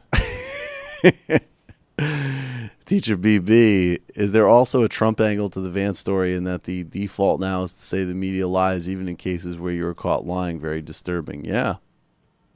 Well, it is. I mean, there is that evolution of like all politicians lie and distort, but even even right wing media, like I've tried to make that point that like when I first like watched Fox and stuff, they lied all the time, of course, because it's a propaganda network. But they had to like, it was like omit a statistic, lie about. I mean, you know, they, people still do this all the time, but it was different from. But now it's like you know, just make up worlds. You know, like Jones, Cernovich, like it just just Breitbart. That's just it's just a complete. So I think that yeah, like, what would be like? What would the equivalent would be like? Monica Lewinsky, never heard of her. You know, it wouldn't be like definition of is is. It would just be like, I know that I said that. I didn't say that. An optimistic read on this dynamic is that it there's it's never been easier for a lot of this shit to rise to the surface and become public because there's so many outlets. It's so easy to get information. Like think of how much of Obama's admin is dominated by Snowden and Manning leaks. Right. And so you have to just if stuff's going to get out, you just have to discredit the messenger. It's it's coming from a sign of weakness, I think. Like I think I think there are like very powerful people like Weinstein for instance, the Right. O'Reilly Ailes, like all that stuff. They realize like just people in general that have shit to hide but they're powerful that we are entering a new time of like sort of forced transparency and it's not necessarily positive in every way but it's definitely different and people have to react to it. And there are positive aspects of it, obviously. Definitely. Um, Nick from San Francisco. I don't think Harvey Weinstein has ever assaulted anybody. In fact, no woman has been genuinely assaulted since the mid 1970s. And I'm a progressive. Joke. Yes. That was the uh, I's Fox News pitch. Uh, Say Harnemer. Um, hey, Michael, longtime listener and became a member last year. Will soon become a patron of your show, too. Well, thank you very much, my friend. The TMBS Army. Interesting discussion on Vance. And speaking of fucked up DAs, not sure you know this, but here in, L- in LA, we have the most murderous police department in the country. I did know that part.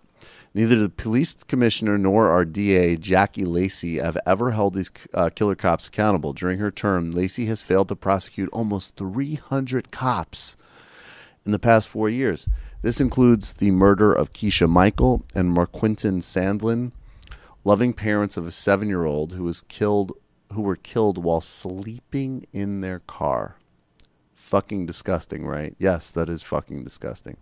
So we have a petition going to get the DA Lacey to do her fucking job. It's um, it's bit.ly slash BLMLA, caps BLMLA. Can you post this? Matt, would you mind? Yeah, Uh, bit.ly slash BLMLA. Yes. Um, yes, we'll post that on the blog, definitely. Um, especially if you're in LA, but really anywhere, please sign. If you can get some, if we can get some progress in eliminating the most murder, murderous forces, then there's something that could have a butterfly effect throughout the country. Thanks. Bit.ly slash BLM LA. We'll definitely post that. Thank you. That's really disgusting. Epish. Harvey Weinstein is a big Robin Hood Foundation guy, isn't he? Yep. A whole lot of interesting names on that Robin Hood Foundation board. Send that to me. That'd I've not heard of the Robin Hood Foundation. It's sort of a. I mean, it, it sounds. It's a great name. I'm a big Robin Hood fan. Uh, no, but it, it's kind of like it, it's basically you know it's sort of a kind of liberal plutocrat sort of organization, essentially. Great to hear from Texas again. I check. I suggest you all check out Kevin Kruse's One Nation Under God. A lot. Yep, we we had him on the show. A lot of capital appropriation of religious and cultural space has to do with blocking labor's use of church for organizing. Absolutely, and undercutting social justice and religiosity. Look at what happened to the Berrigans. At least Dan was able to live quietly up at Fordham and wasn't murdered like MLK and Malcolm X. Just to be clear, your conversation from last week was great. I was saying that I thought we saw things similarly. Yes. Uh, Epish, is a kneeling a microaggression? Exactly. That's what Mike. Oh, such a microaggression against the flag. Joseph Ballin, with the recent revelation that Trump would decertify the Iran deal, I don't know if that's confirmed yet, but it's certainly looking like it. Label, uh, label the Iranian Revolutionary Guard terrorist, yes, organization. Fight with Tillerson over back channels with DPRK. The THAAD missile sales to Saudi Arabia and accusing Iran of funding the DPRK. It's painfully obvious the fascist Trump is clearly preparing for war with either Iran or North Korea both at the same time. The tension. I also don't appreciate your attack on Jason Unruhe. I am very concerned about those moves as well. Jason Unruhe is uh, not good. He's just some sweaty bastard on YouTube. Uh, Comrade Jeb, have you seen the new racist Dove ad? I did. Uh, that is so. It's so racist. It's such a brand f up, as we would say in Two Dope Boys in a podcast parlance, that like.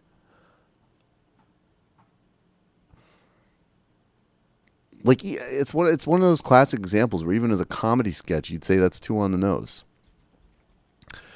It drives home the point of how widespread racism is within the corporate world that supposedly got past entire ad copy teams, legal teams, and various other proof processes. Here's an ad if you ha- here's the ad if you haven't seen it. Uh, I don't have a way of sending this to Matt, but um, do you want to just want to grab that uh that Dove ad? Yeah, we'll do it tomorrow. Okay.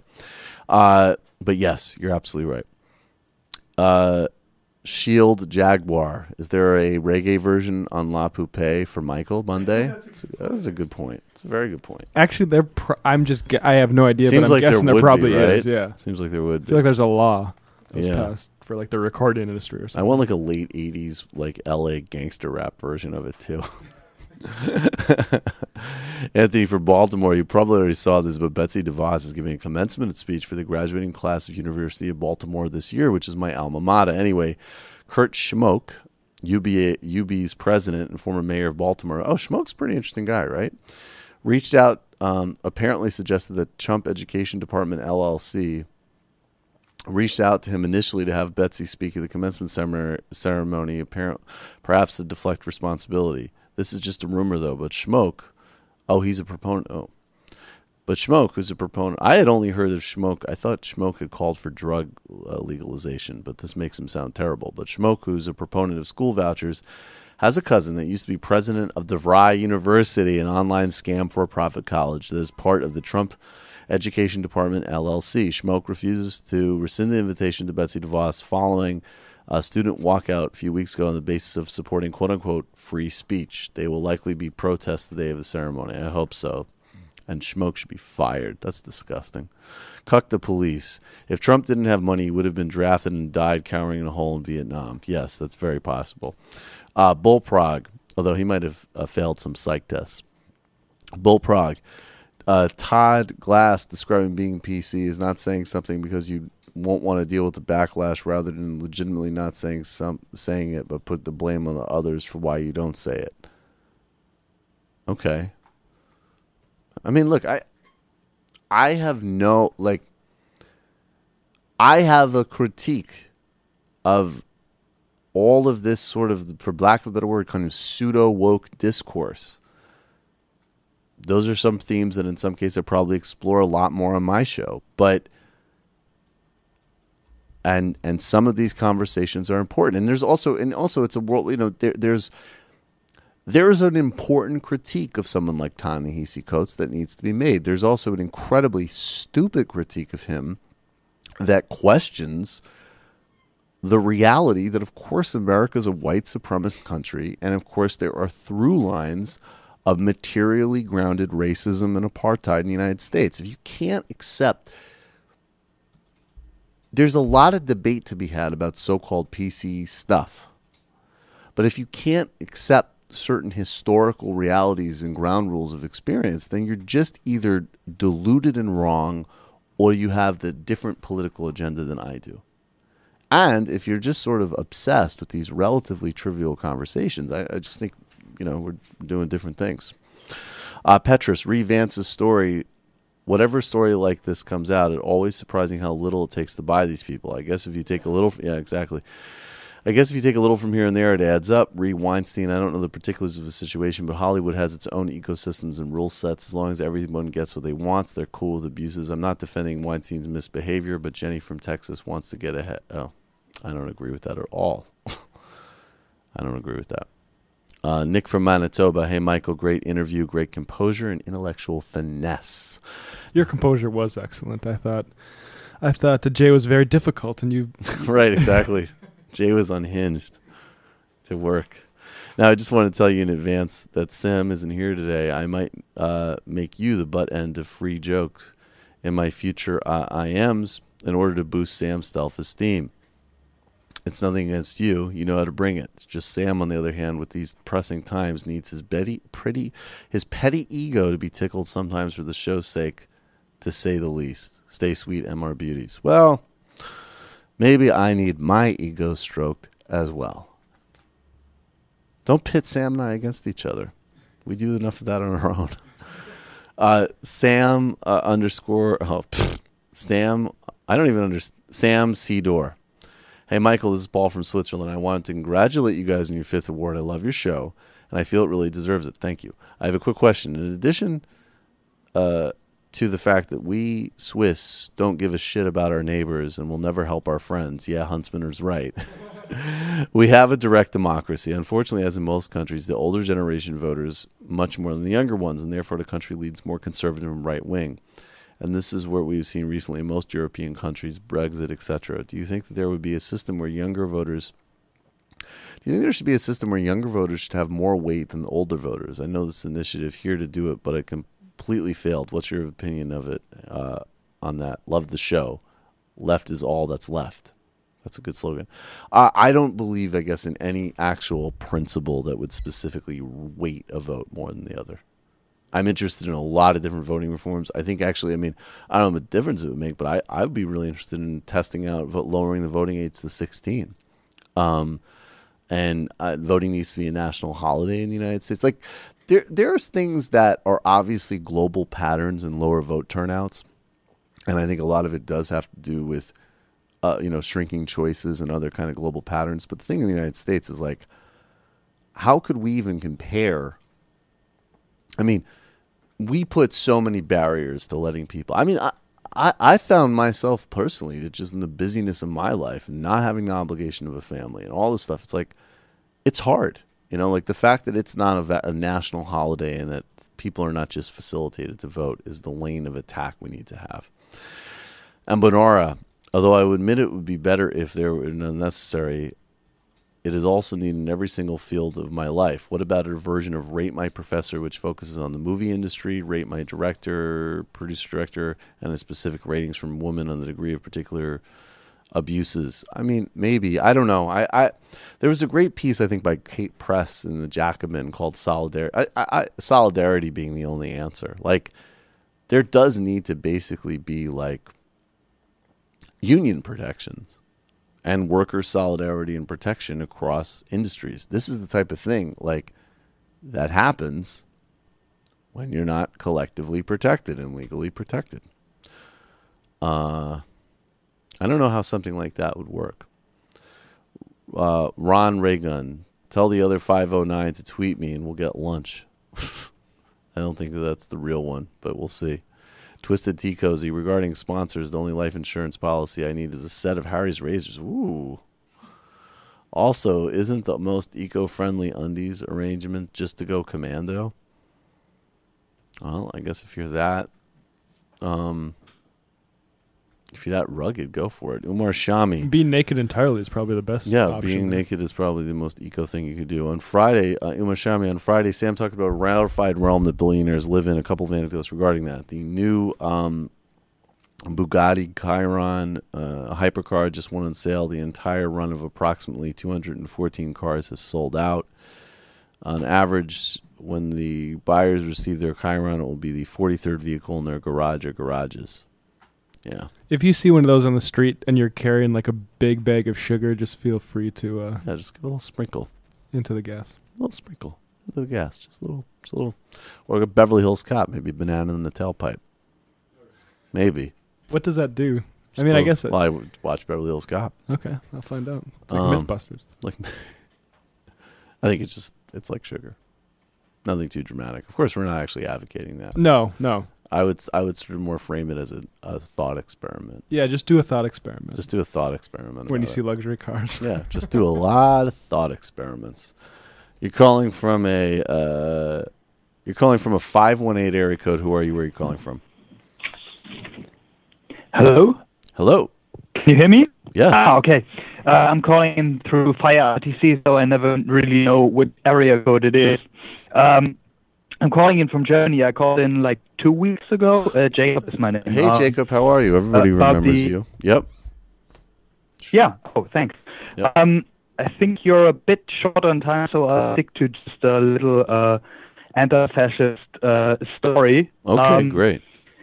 Um, I really, uh, usually I uh, don't condone violence, but there is, uh, th- there are occasions, you know. Um, one of these occasions um, is um, has been told to me by an old comrade. Uh, his name is Kurt Goldstein. He was uh, fought in the Spanish Civil War, and he oh, wow. he was like one of the original anti-fascists, basically. Um, and um, I had the great fortune of seeing him while he's still, still alive, uh, while he was still alive. And uh, the story goes like this: He was in a socialist pub, and a Nazi came in, and um, he was also Jewish, and asked, "Do you serve Jewish swine here?" And he didn't say a thing. Picked up a two-pound ashtray um, of glass and smashed it over the fascist's head, and ran out. Nice. And so, well, you know, I don't, I do not condone it every time, but I think there are, you know, there are occasions.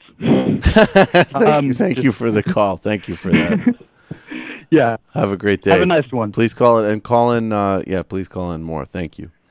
All right, let's get to this last piece of sound. Um, this is Russell Brand talking with Bill Maher on voting strategy in the left. I, I have a soft spot for Russell Brand. I've always, you know, obviously I disagree with, you know, either not voting or not sucking it up and voting for awful candidates, whether they be, you know, Clinton or Macron, if it means averting a Trump or a Le Pen. But I do think that- Actual fascism. actual fascism, exactly. But I do think that it's, you know, I think that uh, Rand articulates a perspective that is use, that is useful to. Uh, it's going to be an important part of our kind of rhetorical and strategic approach moving forward uh, on the left. And this is here he is talking with Bill Maher. You have expressed reservations about voting itself. Where are you on voting now? Well, Bill, I think that the dominant political parties have a real obligation, as Harold was just explaining, to present the voters, by which I mean human beings like me, real vision, real possibilities, and to transcend the idea that they are merely managers of bureaucracies whose role it is to prevent us being, hmm, I suppose, uh, bludgeoned by lunatics like the current one. So uh, I, I feel that what But we're you would agree that it would be better if people had voted for Hillary Clinton, right? Yes, I, I, I wondered if you would Come ask me that. on, please. Well, look, we're, we're getting along Do you so think, good. like, Hillary Clinton would not be pulling out of the Iran deal or the Paris climate deal or it's really, you know, I respect you and I admire you very much, and I think you're a courageous man. One of the problems I have in instances such as this is that politics became so centralised, realistic opportunities weren't offered to ordinary people. And when a candidate like Bernie Sanders emerged, he was not given the opportunities that he deserved. I never voted in my country. What do you mean he was not given the opportunities? There was a he, he was given every up. He ran in America. People voted for him, not as many as Hillary. I wonder why this occurs. Because I mean, you, you're talking now about the manipulation of boundaries and borders and, and the way that certain political okay. figures are managed towards positions of power and authority. That exists at a party political can I- level. can I- the Democratic Party had preferences. Their preference was Hillary. You got Hillary. Hillary lost. And we. And I, I, I don't think that this is not. I'm, I think you can tell from a glance that I'm like not a Donald Trump guy. No, no, no. I, I, I'm, I'm trying to come to common ground with you. I Oh, let me give you one example from, Yes, the- from this week. While all the craziness was going on, the Republicans did not reauthorize a program called CHIPS, Children's Health Insurance Yes. Program. Appalling. Yes, you know of it. Okay, it's been there for 20 years, bipartisan. Nine million kids now are not going to get, you know, what they need the doctor visits, checkups. Yes, this is So. I think for those people, voting matters. You are quite it's, e- right. it's easy to say, oh, voting and who can, they're all bad, but like, for those people downstream, it would have mattered if he didn't wasn't president. I entirely recognise I had a Okay. comparable problem in our country because I'd advocated not voting. I said, well, don't vote until they give you realistic. Uh, uh, realistic opportunities until there are politicians that speak directly to you, that speak for ordinary working people. Until then, why would you participate in this spectacle? You're being invited to participate in something that doesn't offer you realistic opportunities. The candidate for the left at that time was, uh, I would say, a comparable candidate, someone that was a neoliberal, centralist politician that didn't oppose the uh, corporate interests and elite interests. This allowed hegemony to continue. Now, I think that if the left doesn't isn't brave enough to occupy the space where where ordinary people whose lives are in difficulty and in uh, tr- trouble, if, if a politician on the left doesn't say, We are interested in representing you, we want to take care of you, ordinary Americans, then the bizarre, lunatic rhetoric of a man like Trump is suddenly appealing. We have witnessed this. The alternative is in the United Kingdom that Jeremy Corbyn, a genuine socialist candidate, has come to the front, and I voted for the first time, and people care What now. were you like on cocaine? Uh, it's a decent Bill Maher line. Were you like on cocaine? I think that it's a very important conversation because I think, of course, like in the narrow sense, Bill Maher is right. But the key word is the narrow sense. So what people are going to need to do is synthesize those two positions. And I think, you know, Brands is already getting there. And in fact, if I recall correctly, he didn't in you know, he didn't finish the story, but I think he actually did advocate voting for Ed Miliband in 2015. Yeah, he might not have voted himself, but they had like Yeah. a YouTube live stream from his kitchen. Right. together. He brought il- exactly. He brought Ed Miliband on his YouTube show. So even then, he was recognizing that, of course, and and this is and this is the perfect balance. The perfect balance that needs to happen is uh, voting can often be an incredibly. I mean, look, I have the opportunity in my city council race coming up here in early November. I'm very excited to vote for Jabari Brisport.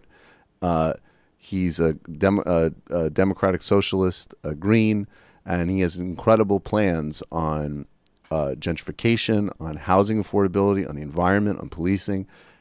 I want him in the city council, and he can be in the city council. That's an affirmative vote. Voting for Bernie Sanders is an affirmative vote. Voting for Jeremy Corbyn is an affirmative vote. But there's also just the obvious that you vote to minimize the damage and you vote to make sure that 9 million kids stay on a fucking health insurance thing. It's grotesque that that's even a question. But then on the other hand, we must not narrow our conversation to that. We need to push the the boundaries of what is expected from politics, what politicians offer, and never settle for the type of centralized technocratic mediocrity that Brand, Brand is talking about. So I, I think he, I think Russell Brand's actually getting to the right place, and I th- I just wish that somebody could answer the Bill Maher question with yes, of course, Hillary's better than Trump. What's next? What do you what do you need to do to improve our lot? Do you think it's just sufficient to vote for a minimally better, you know, a, a- well, not very better, but pretty awful neoliberal who's not going to do anything fundamental on climate and equality and foreign policy and just avoid fascism and then you can go just keep minding off while most of this country continues to sort of brutally suffer in the world? Do you think that's good enough, Bill? answer the obvious and then go on the offense. But as long as you can't answer the obvious, you're not going to look credible. Because if you can't get that Hillary Clinton's better than Donald Trump, I mean, come on. Then that's when we get into just some fucking dumb, dumb shit. Uh, you're calling from a 651 area code. Who are you? Where are you calling from? Hey, uh, this is Tiffany Trump. Yes, the Tiffany Trump. Um, hey, is Bill Maher coloring his hair? Probably. Did you notice that his hair his hair looks weird? Uh, he should cut that out. Hey, uh, uh, Donnie Jr. is a dick. Okay, out of Yeah. all the kids, Dad, Dad always loved Donnie Jr. the most platonically. And my dad and me, we weren't too close, right? Like we never really dated, more like friends with benefits type of deal. But like when we spent time together, it was special. Like Right. I thought I thought we had a deeper connection, right? And then so one time, it was like right before I got off heroin. Um, I was on a bridge. My friend had killed herself, so I was on a bridge. I was about to jump into traffic, and uh, I called my dad, and I was looking for help, and he just asked if I was the slutty one. And at that point, I jumped into traffic, and I ended up in a body cast for six months. He never called me one single time. at least I got off the smack. Okay, so anyway, I don't want to hear uh, any whining. Well, I guess Donnie Jr. is an alpha male now, so he's happy about that. But you know, I'm still the slutty one in Dad's eyes. Hey, uh, did you see that Ben Shapiro tweeted? I, I tweeted you guys this. Ben Shapiro uh, posted one of the most racist cartoons I've ever seen. Oh, it is ridiculous. It seems like something Funny or Die would do. But anyway, uh, it's 47 seconds. So if you got a chance to take a peek at it, I would suggest it. Have All a right. good day, everybody. And fuck you, Donnie Jr. All right, bye. bye bye. You're calling from a 216 area code. Who are you? Where are you calling from? Hi, this is David calling from Michigan. Hey, David. Can't hear you too good, man. You're not on speaker, are you? Hi, this is David calling from Michigan. Hey, David. How you doing? What's on your mind, man? Real good. Um, yeah, I've been having a lot of time to think about, you know, what's gone wrong in the country. I had one thought. I don't know if uh, it's uh, been discussed before, but I feel like uh, the country usually had a purpose to it. And if you think about the beginning of the nation, there was establishing a democracy. Then there was mastering the continent. Um, then you moved on to sort of shared prosperity coming Mhm. out of, you know, going from the labor movement into FDR and Truman Mhm. and all that, and Mhm. there's anti-communism, and you know, there's always been something. I'm not sure what it is right now, besides possibly the stock market.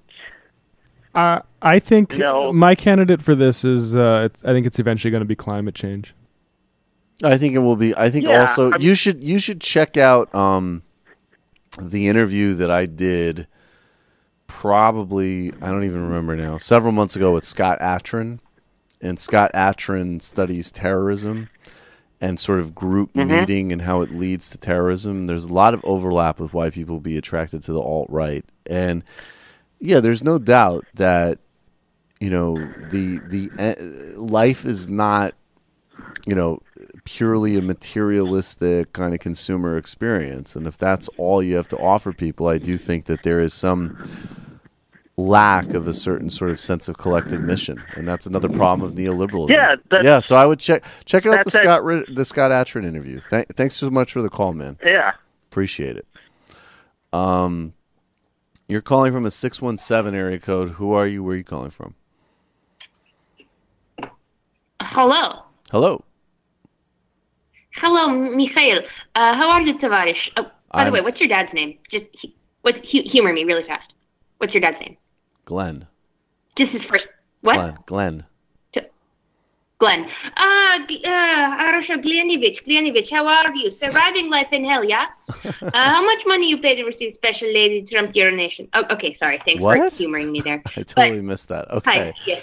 Hi, you're calling it's from okay. Kiev. It's okay. I was just being silly. No, no Yes. problem. Hi from Ukraine. Hey, Okay. what's what's but on your I'm mind? just no, I'm just using yeah, just um the uh patronymics. It's like what you you call people their fir- their father's first name and then a suffix. Oh, okay. It, it's just what they do.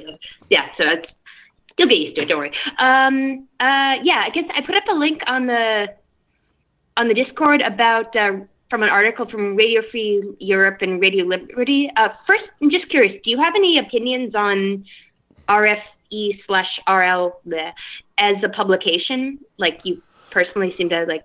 Wait, you're talking about wait, you're well-read. talking about the Discord on on Michael Brooks show. You're talking about. Yes, yes, yes. No, but I'm Oh, I'm just okay. curious in general. Do you have any take? What I don't. I, d- I would. I not strongly to be honest with you. I don't. I would need to know Okay. more. I mean, I've occasionally read. I'm. I know that name, but I don't know that much. Mhm. To be honest with you. Okay.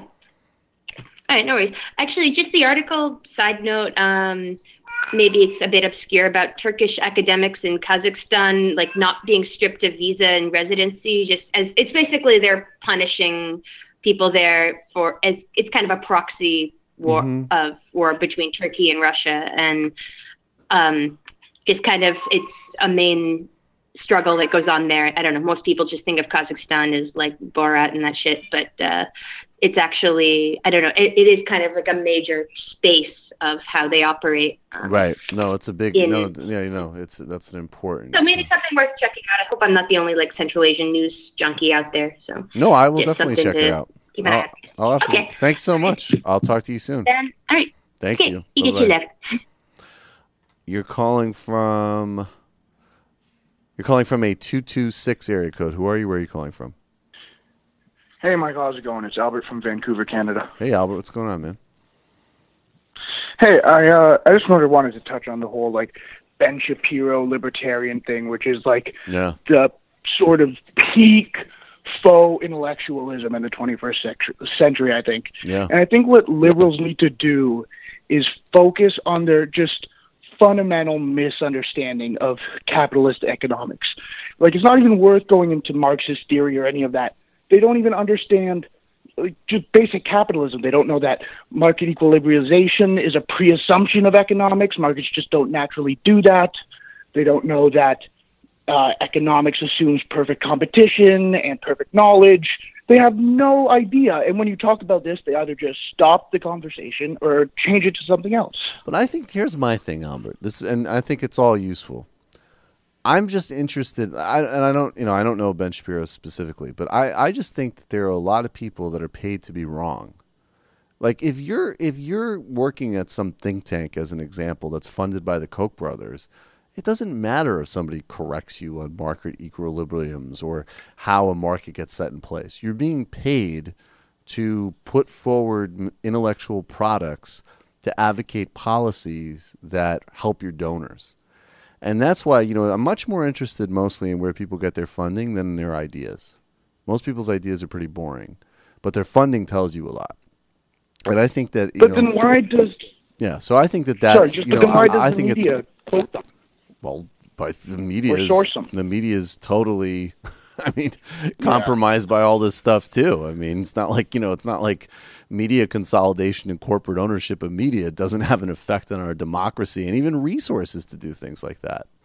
But I just think that you know, I'm not saying that there isn't. Of course, there's a room.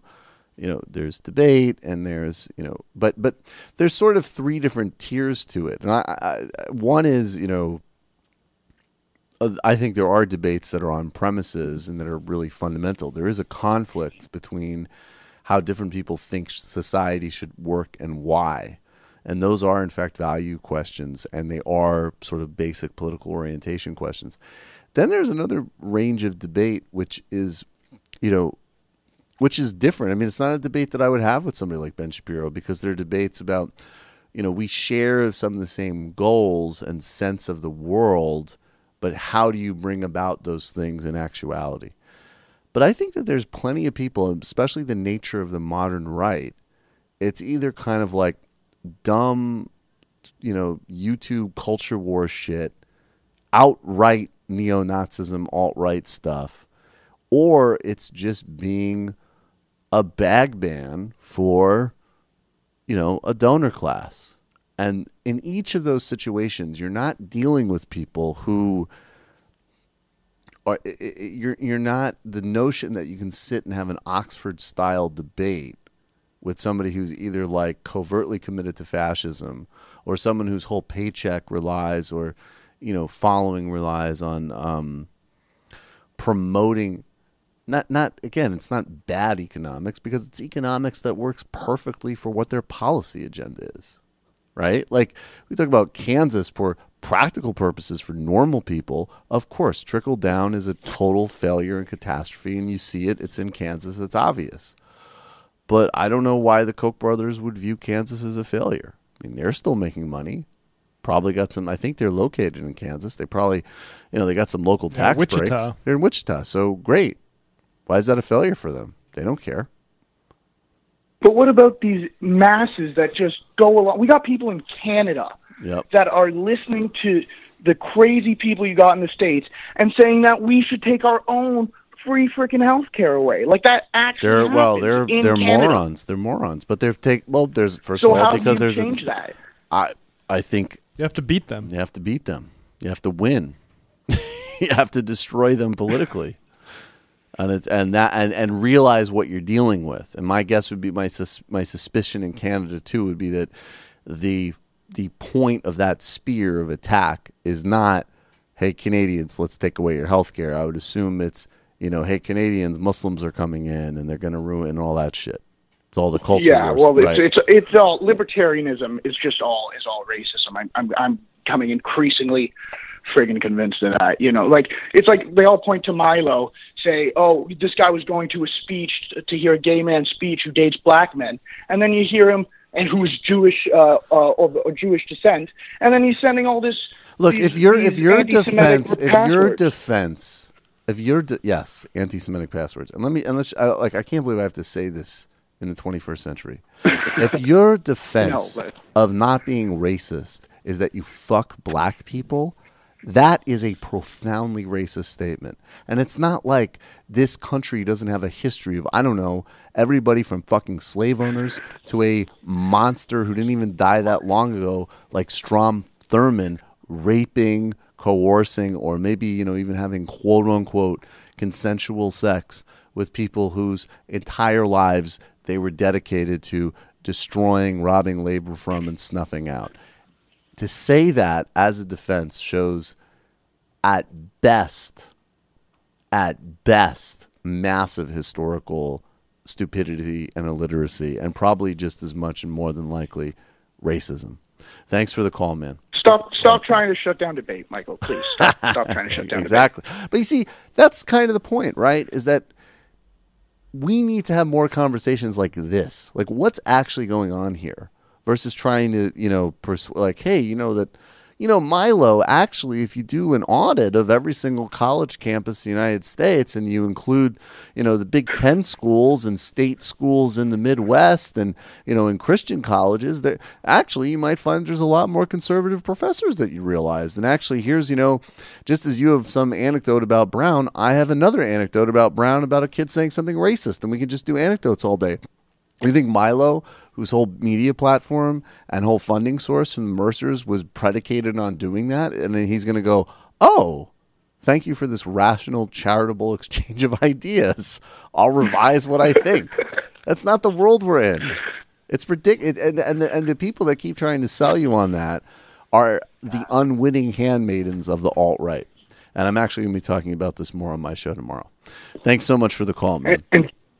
No problem. Just as an anecdote, Canada, I had a conservative MP as a professor. Never a liberal MP, never an NDP MP, conservative MP as a professor. Thanks There a lot. go. Have a good one. Thanks, brother. Bye bye. All right. Last call of the day. I'm sorry I can't get to everyone. You're calling from a 604 area code. Who are you? Where are you calling from?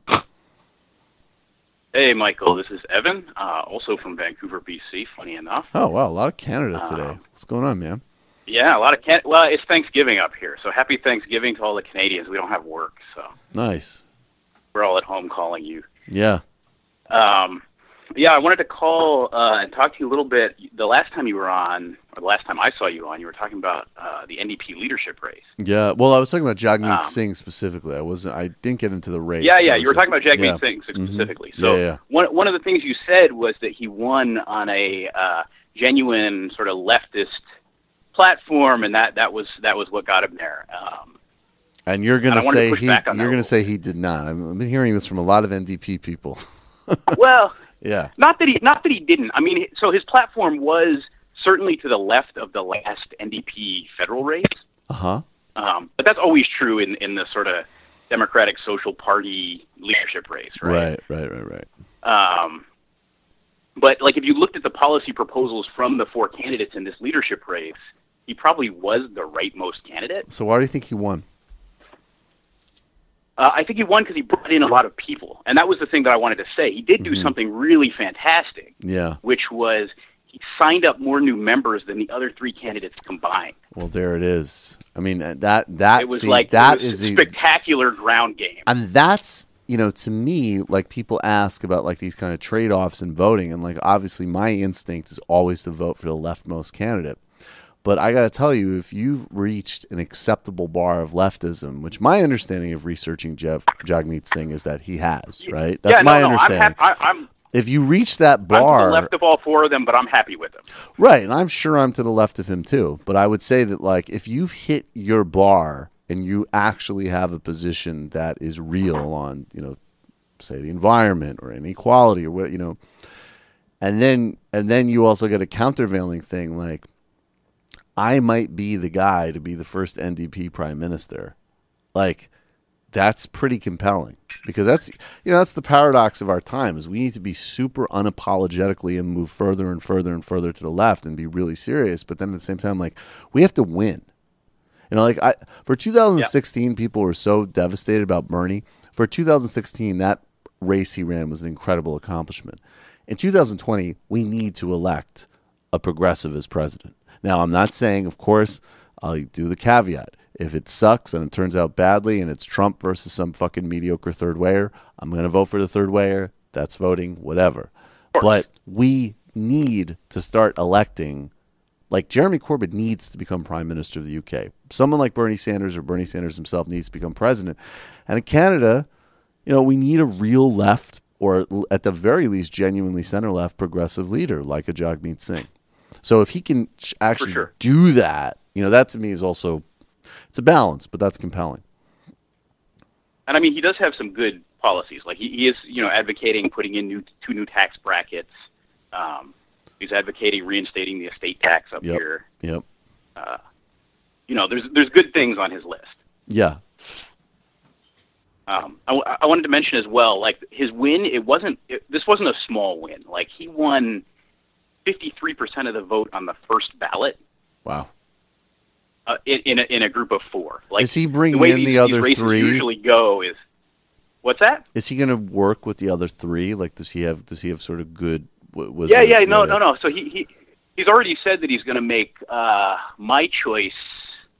You know, the the head of something or other. I don't remember what it was, but Okay. um, and and then one of the other ones he's he's on as well. Like I, I think probably all four of them will end up, you know, fairly high party officials. That's great.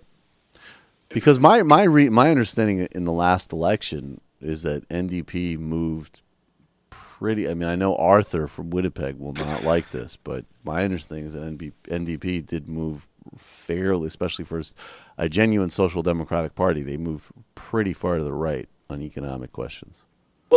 There there was a, there was a difference between the party platform and the messaging. Mm. So the party platform, you know, you know, Art Art's right. Like the party platform was pretty genuinely left. It Shut a the good- fuck it was a good up. Sorry. Um, but the the the mess like every time Tom Mulcair got a microphone put in his face, he was talking about balancing the budget or some shit like this, right? Very inspiring. Yeah. And it was like, yeah, I mean, nobody cares. Like, who gives a shit, Right. Right. Right. right? Like, and and I mean, like, Canada doesn't have that big a debt. It's much smaller, you know, per capita than the states. The deficit wasn't that bad. It was like, you know, I think the deficit was it, the the numbers were somewhere between one and two billion deficit. Right. right? It was like some small, nobody cared, Right. Right. and and yet that was what he wanted to talk about. And it was like, I don't know, just talk about your tax ideas or talk about your housing ideas or like any of the things. talk that are in about actual platform, just say real things. Talk about actual real things. Exactly. All right, man. I appreciate the call.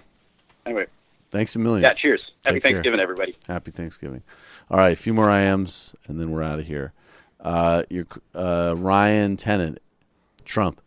Hey, Puerto Rico, you're really messing up our budget by getting in the way of these hurricanes. Hey, Mike, fly to Indianapolis for two seconds. Tell everyone how much you hate black people. By the way, the uh, Jones Act waiver expired, and it doesn't look like they're going to uh, re-waive it. Disgusting. Perez teaching at Brown wasn't one of the arguments being made to support his candidacy to be able Yep. to focus on yep entirely on being the head of the DNC, and that would yep it sure was. Uh, Wote, um, uh, I don't understand that. I'm sorry. Spinster. Just wondered if you can continue the conversation you're having with Cliff on Friday with an academic about the unprecedented wealth of these political donors, their motivation, mindset, and lifestyle. Will look for possible interviewees. Yes, I would be open to that for sure. Denver Dave, please put the call from Saul from Soul on YouTube ASAP. Great, great show as always. Left is best. Um, CM uh, CM Michael Laylis to celebrate uh, Columbus Day. Philadelphia Inquirer had an editorial about how lily how lily white trade unions are still in the city that is majority minority. Seize the means, but only for white people. As someone in the union, this pissed the hell off of me. That's really weird. Um, did you see uh, Zaid Jilani's recent piece about Russia got a signal boost by Infowars? What's up with that? I have no idea. I don't know anything about any part of that. That is weird, though. Christo, Ana Navarro, Amy Siskind, Bill Kristol, and, and George Will. Yes, I agree. Apparently, there's a Skylight version of uh, of uh, La Poupée. Jay Tingle, as I recall, the Banana and Tailpipe got a lot of mileage in the Village Voice movie review. Um, and the final I am of the day. Denver Dave, the Atlantic reports that Trump's that Pence's drama queen stunt cost hundred thousand dollars for just the flight to Indiana- Very Indianapolis. More if the other transportation and security costs are included. We are back live tomorrow, everybody. Thank you. It might take all the strength I got to get to where I want, but I know somehow I'm gonna get there. I wasn't looking when I just got caught between the truth and the lie bar. But finding out won't make me feel any better. Yeah, I know the clock is ticking, but the meds are gonna kick in,